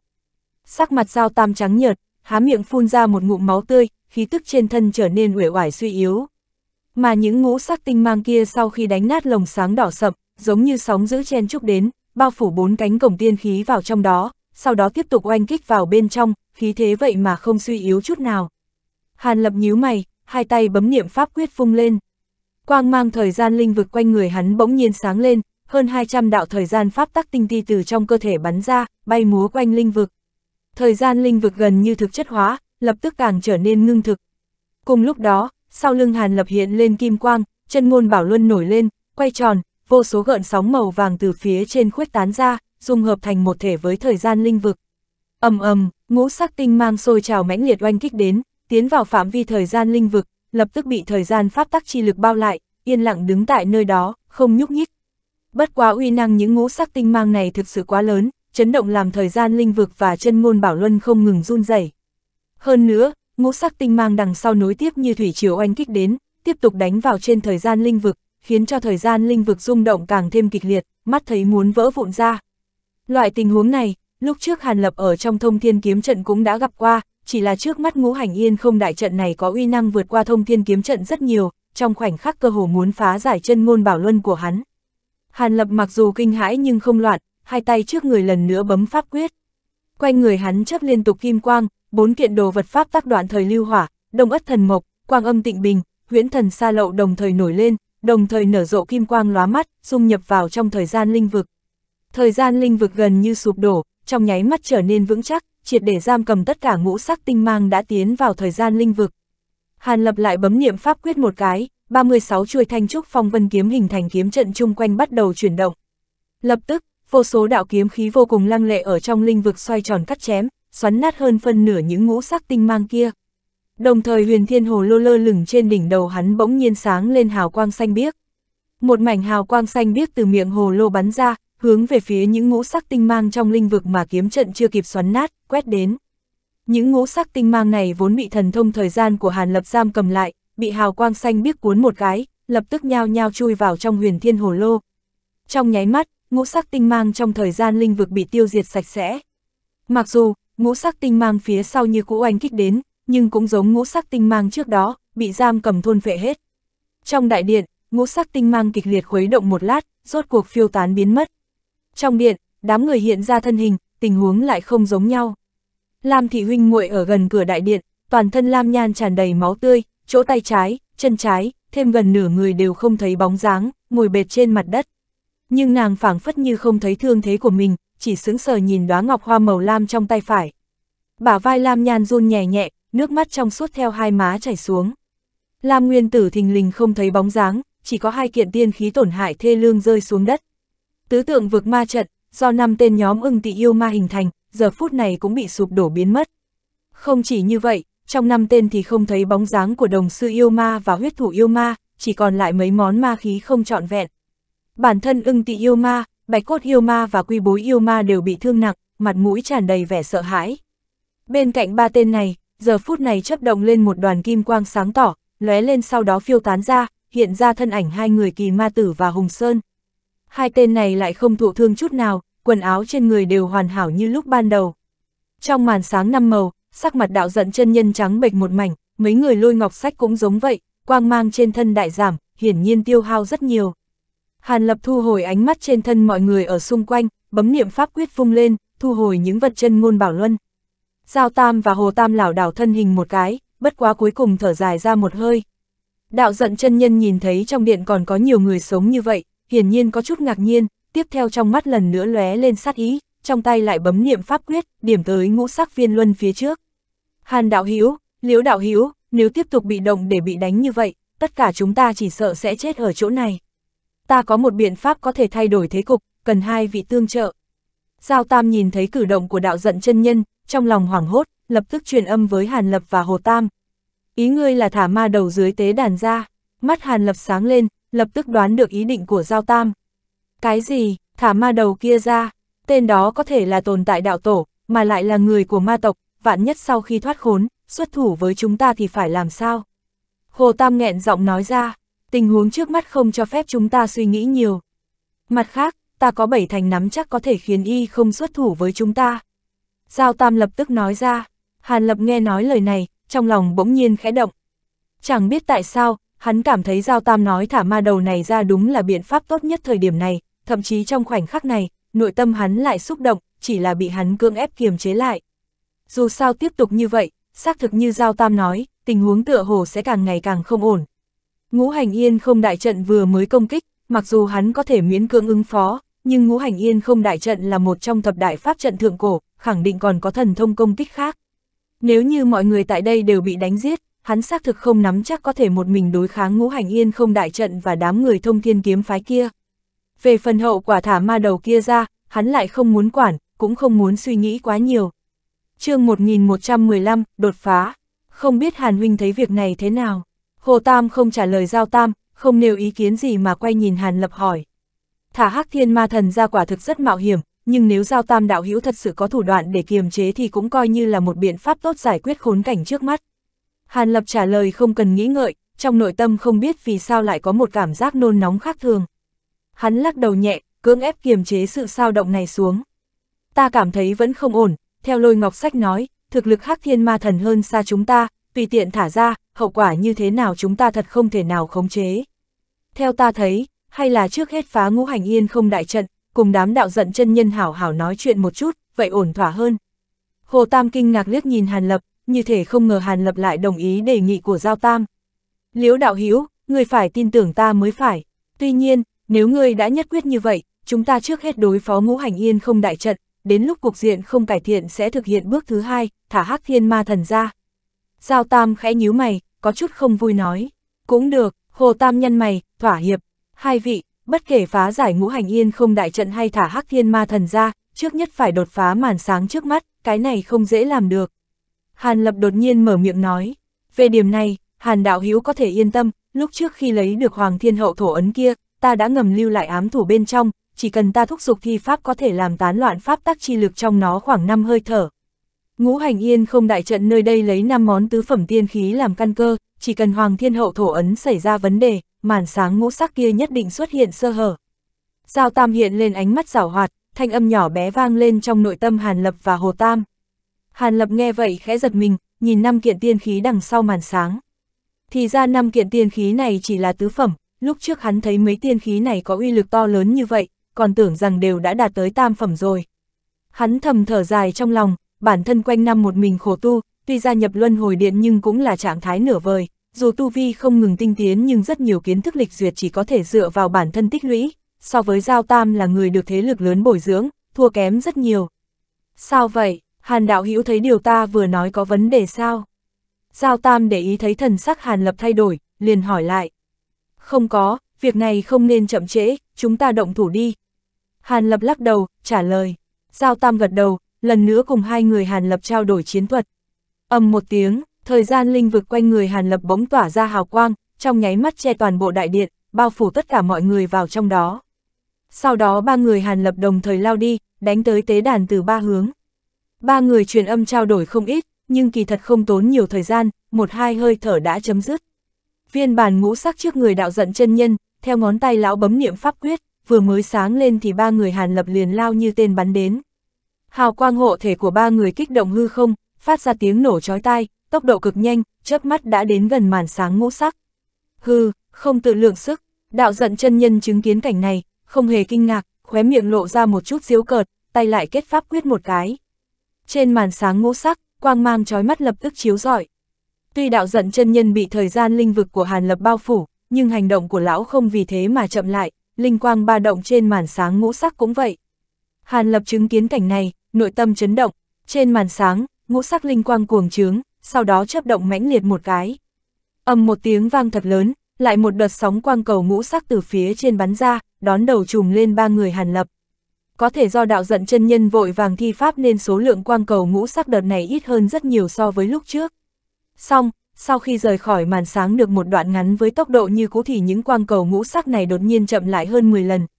Hàn lập chứng kiến cảnh này, lần nữa nhẹ, ô, lên một tiếng, nhìn về tuế nguyệt thần đăng bên cạnh đạo giận chân nhân, lập tức giật mình. Hẳn là do ảnh hưởng của tuế nguyệt thần đăng, ở bên trong phạm vi đó rõ ràng chúng được che chở khỏi ảnh hưởng của thời gian linh vực do hắn phóng thích ra. Nghĩ đến đây, ánh mắt hắn không khỏi sáng ngời, xem ra tuế nguyệt thần đăng còn huyền diệu hơn so với hắn dự đoán. Nếu có thể lấy về tay, chưa nói đến thần thông khác của đèn này, chỉ cần thời gian chi lực ẩn chứa bên trong đã có thể luyện hóa ra không biết bao nhiêu sợi tinh ti thời gian pháp tắc. Hắn căn cứ vào kinh nghiệm lúc trước phán đoán, số lượng sợi tinh ti pháp tác luyện hóa được e rằng phải dùng đơn vị nghìn để tính. Nghĩ tới đây, trong lòng Hàn Lập không khỏi sinh ra ý nghĩ mãnh liệt phải liều lĩnh giành lấy tuế nguyệt thần đăng. Nhưng lập tức trong nội tâm đang quay cuồng của hắn chấn động mạnh một cái, Hàn Lập cưỡng ép đè nén ý nghĩ chợt hiện trong đầu xuống. Hiện tại bản thân còn đang đối diện nhiều nguy cơ chưa trừ bỏ được, không phải thời điểm cướp đoạt tuế nguyệt thần đăng. Chỉ là nội tâm vẫn còn chút sao động, nhưng lúc này hắn đã không rảnh bận tâm nữa. Đối mặt rất nhiều quang cầu ngũ sắc đang tới, thân hình hắn cũng không dừng lại, không tìm cách phòng ngự mà giơ tay lên. Giữa lúc hoa quang chấp động, thông thiên kiếm trận đồ bỗng dưng xuất hiện trước người hắn, nghênh đón những quang cầu ngũ sắc kia. Ngược lại, hai người Giao Tam và Hồ Tam bỗng nhiên dừng lại không chút do dự, sau đó bay ngược trở về. Hai người bọn họ lao tới trước, vốn là nghi binh, thu hút sự chú ý của đạo giận chân nhân, tránh cho Hàn Lập một mình phải nhận toàn bộ công kích từ ngũ hành yên không đại trận. Bây giờ đã thu hút được hỏa lực ngũ hành yên không đại trận, dĩ nhiên lập tức lùi lại phía sau. Hơn nữa những quang cầu ngũ sắc kia tuy ít hơn so với trước, nhưng hai người vẫn không thể ngăn cản. Bên kia, đạo giận chân nhân nhìn thấy thông thiên kiếm đồ, thần sắc lập tức thay đổi, lại vội vàng bấm niệm pháp quyết. Màn sáng ngũ sắc lóe lên, những quang cầu đánh về Hàn Lập ngay lập tức bay sang bên cạnh, ra sức tránh chạm phải thông thiên kiếm đồ kia. Trong lòng Hàn Lập hơi buông lỏng, quả đúng như hắn dự đoán, thông thiên kiếm đồ này đối với thông thiên kiếm phái cực kỳ trọng yếu, bọn chúng sợ ném chuột vỡ bình, không nỡ phá hủy. Trong lúc cân nhắc, kim quang trên người hắn sáng lên, tốc độ bay về phía trước bỗng nhanh hơn gấp bội, trong nháy mắt xuyên qua quang cầu ngũ sắc đầy trời, bổ nhào vào màn sáng ngũ sắc. Hàn lập lật tay thu hồi thông thiên kiếm đồ, hai tay hướng mạnh về phía trước. Trong cơ thể hắn, hơn 200 tinh ti thời gian pháp tắc đều bắn ra, hội tụ trước người, kim quang từ thời gian linh vực điên cuồng vọt tới. Keng, một âm thanh như kim loại va chạm vang lên, trong tay Hàn Lập có thêm một thanh cự kiếm màu vàng dài 10 trượng, rộng chừng nửa trượng. Thân kiếm ánh lên kim mang giống như hỏa diễm, vầng sáng màu vàng tỏa ra tán loạn, chói mắt, như một vầng thái dương màu vàng phóng ra kim mang rừng rực khắp trời. Sau đó cánh tay Hàn Lập khẽ động, cự kiếm màu vàng từ trên hạ xuống, lấy khí thế không gì sánh nổi, chém thẳng vào màn sáng ngũ sắc bên cạnh ngọc trụ màu vàng, kinh lực mãnh liệt như thể xé rách hư không ổn định nơi này. Đạo giận chân nhân chứng kiến uy thế cự kiếm màu vàng, ánh mắt ngưng lại, lập tức lại biến thành diễu cợt, bấm niệm pháp quyết một lần nữa điểm ra. Trên ngọc trụ, lão giả mặt vàng nhanh chóng bấm niệm pháp quyết. Hoàng thiên hậu thổ ấn nơi đỉnh đầu lão sáng rực, bắn ra một đạo hoàng mang vừa thô vừa to, chui vào màn sáng ngũ sắc trước mặt Hàn Lập. Màn sáng lập tức sáng ngời, dày lên rất nhiều. Cùng lúc đó, Giao Tam đang bay lui về đột nhiên dừng lại, hai tay xoay tròn niệm pháp quyết, trong tay hiện ra hào quang đỏ sậm chói mắt, hơn nữa nhanh chóng chấp động ba lần. Trên ngọc trụ màu vàng, mặt ngoài Hoàng Thiên Hậu thổ ấn chợt hiện một tầng hào quang đỏ sậm, hoàng mang do đại ấn tỏa ra đang ngút trời nhanh chóng ảm đảm đi. Lão giả mặt vàng ngạc nhiên, hai tay vội vàng bấm niệm pháp quyết, ý đồ thúc giục Hoàng Thiên Hậu thổ ấn nhưng đều vô dụng. Giờ khắc này, hào quang trên màn sáng ngũ sắc cũng ảm đạm hơn nhiều, màn sáng gần ngọc trụ màu vàng càng trở nên cực kỳ mỏng manh, hầu như biến mất. Những quang cầu ngũ sắc đang bắn ra kia cũng đột nhiên vỡ vụn, hóa thành từng điểm linh quang tan biến đi. Không để lão giả mặt vàng và đạo giận chân nhân kịp phản ứng, cự kiếm màu vàng trong tay Hàn Lập chém xuống chỗ màn sáng mỏng manh. Xoẹt một tiếng, màn sáng phát ra một tiếng như tơ lụa bị xé, vết rách kéo dài vài trường. Giao Tam chứng kiến cảnh này, khuôn mặt lập tức vui vẻ. Nàng rất nhanh tụng đọc chú ngữ, hào quang đỏ sậm chợt hiện trên người, mở rộng linh vực ra, bao phủ toàn bộ đại điện. Sau đó nàng uốn mình, cả người hóa thành một luồng hào quang đỏ sậm, lao tới vết rách trên màn sáng. Cùng lúc đó, Hồ Tam phất tay tế ra thiên hồ hóa huyết đao, nhoáng một cái thân hình hóa thành một hào quang xám trắng, nhập vào thân đao. Thiên hồ hóa huyết đao vèo một tiếng, hóa thành một cầu vòng màu máu vào tới vết rách, so với dao tam còn nhanh hơn vài phần. Phía xa, kỳ ma tử, Hùng Sơn và ba tên ưng tị yêu ma chứng kiến ba người hàn lập hành động, đều thấy sướng sờ. Đại ca, ba người kia đã phá vỡ màn sáng của đại trận, bây giờ là thời cơ tốt phá giải ngũ hành yên không đại trận, chúng ta có nên tiến lên tương trợ. Quy bối yêu ma mắt sáng lên, truyền âm hỏi ưng tị yêu ma. Không cần, để cho bọn chúng liều mạng lưỡng bại câu thương là tốt nhất, tất cả nhân tộc nơi đây đều không thể tin được. hiện tại bọn chúng kiềm chế đại trận, lúc này chúng ta thừa cơ tìm cách rời khỏi đây. Ưng tị yêu ma lạnh lẽo liếc nhìn đám người hàn lập, lập tức truyền âm đáp. Thế nhưng mà, quy bối yêu ma lộ vẻ mặt do dự, đại ca nói đúng, nơi đây nguy cơ bốn bề, chúng ta đi mau thì tốt hơn. Thật hối hận khi tin vào lời sằng bậy của kỳ ma tử khi trước để đến nơi đây, hại chết lão tam và lão tứ. Bạch cốt yêu ma đau lòng nói, được rồi, chúng ta nhanh dò xét màn sáng cấm chế nơi này, nhìn xem có thể tìm được sơ hở nào không. Quy bối yêu ma nói ra, muốn đi, các ngươi không đi được đâu, ba vị cứ ngoan ngoãn ở lại đây đi. Ngay khi bà yêu ma muốn đi, một thanh âm lạnh như băng vang lên bên tai chúng. Lời còn chưa dứt, một linh vực màu vàng như thực chất chụp xuống ầm ầm, bao phủ cả ba lại. Kỳ ma tử đứng giữa hư không linh vực, trên mặt đầy vẻ trào phúng. Kỳ ma tử, người muốn làm gì? Ưng tị yêu ma lớn tiếng quát, hắc khí trên người cuồn cuộn, ra sức dẫy ruộng. Đáng tiếc, ba người bị linh vực màu vàng bao lại, tốc độ lập tức chậm lại gấp chục lần. Hơn nữa, linh vực màu vàng xung quanh chắc chắn vô cùng, cố gắng của bọn chúng cũng không có hiệu quả gì. chương 1116, nguy hiểm tột cùng. Đối mặt với sự chất vấn gay gắt của ưng tị yêu ma, kỳ ma tử chỉ ha ha cười lớn mà không thèm đáp lời, hai tay bấm niệm pháp quyết nhanh chóng vung lên. Kim quang bên trong linh vực bắt đầu cuồn cuộn khởi động, cuối cùng hội tụ trên đỉnh đầu ba tên ưng tị yêu ma, hóa thành một thân hình nam tử kim sắc cao đến vài chục trượng. Nam tử này có nửa dưới là mình rồng, còn nửa thân trên lại mang dáng vẻ của một đại hán trung niên với gương mặt tua tủa dâu quai nón, khuôn ngực trần rậm rạp lông vàng, trong tay đại hán trung niên nắm một cây hỏa phiến, gương mặt tràn ngập một loại uy nghiêm vô cùng vô tận. Đại hán trung niên chợt duỗi cánh tay như cây quạt hương bổ ra, từ bên trên chụp xuống đầu đám ưng tị yêu ma. Oanh một tiếng trầm đục, một luồng áp lực cực đại từ trên trời giáng xuống, trực tiếp phủ lên tam ma bên dưới. Thân thể tam ma tựa như bị kình thiên cự sơn đè ép, nhất thời không thể động đậy mảy may, cũng không thể nào phát ra bất cứ thanh âm gì. Hao phí biết bao tâm cơ mới dẫn dụ được bọn ngươi đến nơi đây, vốn định ở chỗ này thu phục toàn bộ, rốt cuộc chỉ vì chút việc ngoài ý muốn mà thiếu mất hai tên, nhưng tóm được ba tên cũng đã miễn cưỡng đủ dùng rồi. Kỳ ma tử cười hắc hắc, rồi vung tay lên, một cây pháp trượng huyết sắc lập tức bay ra từ phía sau lão, thân trượng chỉ có một màu huyết hồng, phần đầu trượng được điêu khắc một con yêu long chín đầu. Trong đó, bảy cái đầu yêu long không ngừng phát ra từng trận từng trận huyết quang chói mắt, còn lại hai cái đầu ảm đạm vô quang. Huyết trường vừa xuất hiện đã lập tức giấy lên âm phong vô cùng mãnh liệt, tiếng quỷ gào khóc liên miên không dứt. Một luồng yêu lực băng hàn thấu xương từ huyết trượng cấp tốc lan tỏa khắp xung quanh, ngay cả thời gian linh vực cũng không thể ngăn cản. Kỳ ma tử lầm nhầm bấm niệm pháp quyết rồi điểm một cái.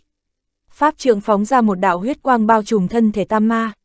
Tiếp đó, từng luồng huyết quang lần lượt bay ra từ trong cơ thể của tam ma rồi nhập vào pháp trượng huyết sắc. Thân thể tam ma nhanh chóng héo quắt lại, mà hai cái đầu yêu long còn lại trên huyết trượng lại bắt đầu nở rộ huyết quang. Cùng lúc đó, Hàn Lập đã phá vỡ được quang mang ngũ sắc, thân hình lóe lên thông qua kẽ nước sông vào bên trong.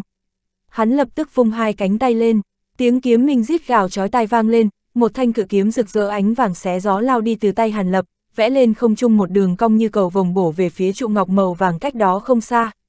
Tặc tử giỏi lắm, người quả thực muốn chết. Đạo giận chân nhân đại nộ, gầm lên một tiếng, điểm lên miếng phủ lục màu vàng đang cầm trong tay.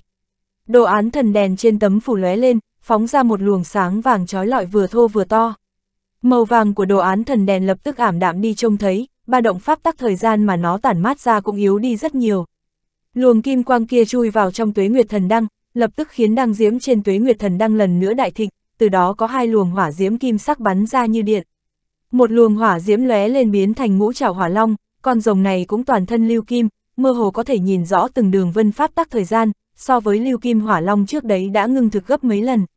Lưu kim hỏa long nghiêng đầu quấy đuôi lao về phía trụ ngọc màu vàng, tốc độ nhanh không thể tưởng tượng nổi, so với cự kiếm màu vàng của Hàn Lập rõ ràng phát sau mà đến trước, đôi long chảo thô to chộp về phía trước nhanh như chớp. Trong một thoáng, kim quang đại phóng chói mắt vô cùng, hai luồng lực lượng pháp tắc thời gian cực lớn va chạm với nhau, khiến hư không phụ cận run rẩy phát ra tiếng ù ù. Cầu vòng kiếm do cự kiếm màu vàng biến thành lập tức bị đôi long chảo chặn đứng, tiếp đó, nhanh chóng bị thân thể lưu kim hỏa long cuốn lấy, miệng rồng phun ra một luồng kim hỏa, hung hăng công kích thân kiếm. Kim quang xung quanh cự kiếm lập tức lóe lên, bằng mắt thường cũng có thể thấy được cự kiếm đang bị hòa tan ngày một nhanh. Mặt khác, luồng hỏa diễm kim sắc còn lại đã bay vụt xuống trước tế đàn ngũ sắc, phần phật cuồng trướng, biến thành một màn lửa màu vàng, ngăn cản phía trước tế đàn ngũ sắc. Hàn Lập thấy vậy khẽ nhíu mày, thân hình dừng lại ở một chỗ trên không. Đạo giận chân nhân nhẹ nhàng thở ra, ngẩng đầu nhìn về phía Hàn Lập, ánh mắt lóe lên sát cơ, thì thào trong miệng, không biết tự lượng sức, chết đi.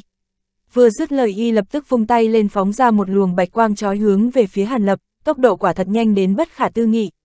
Khoảng cách giữa hai người không quá xa, bạch quang vừa mới xuất thế, hầu như không có chút gián đoạn chút nào, thình lình đã hiện ra trước mắt Hàn Lập.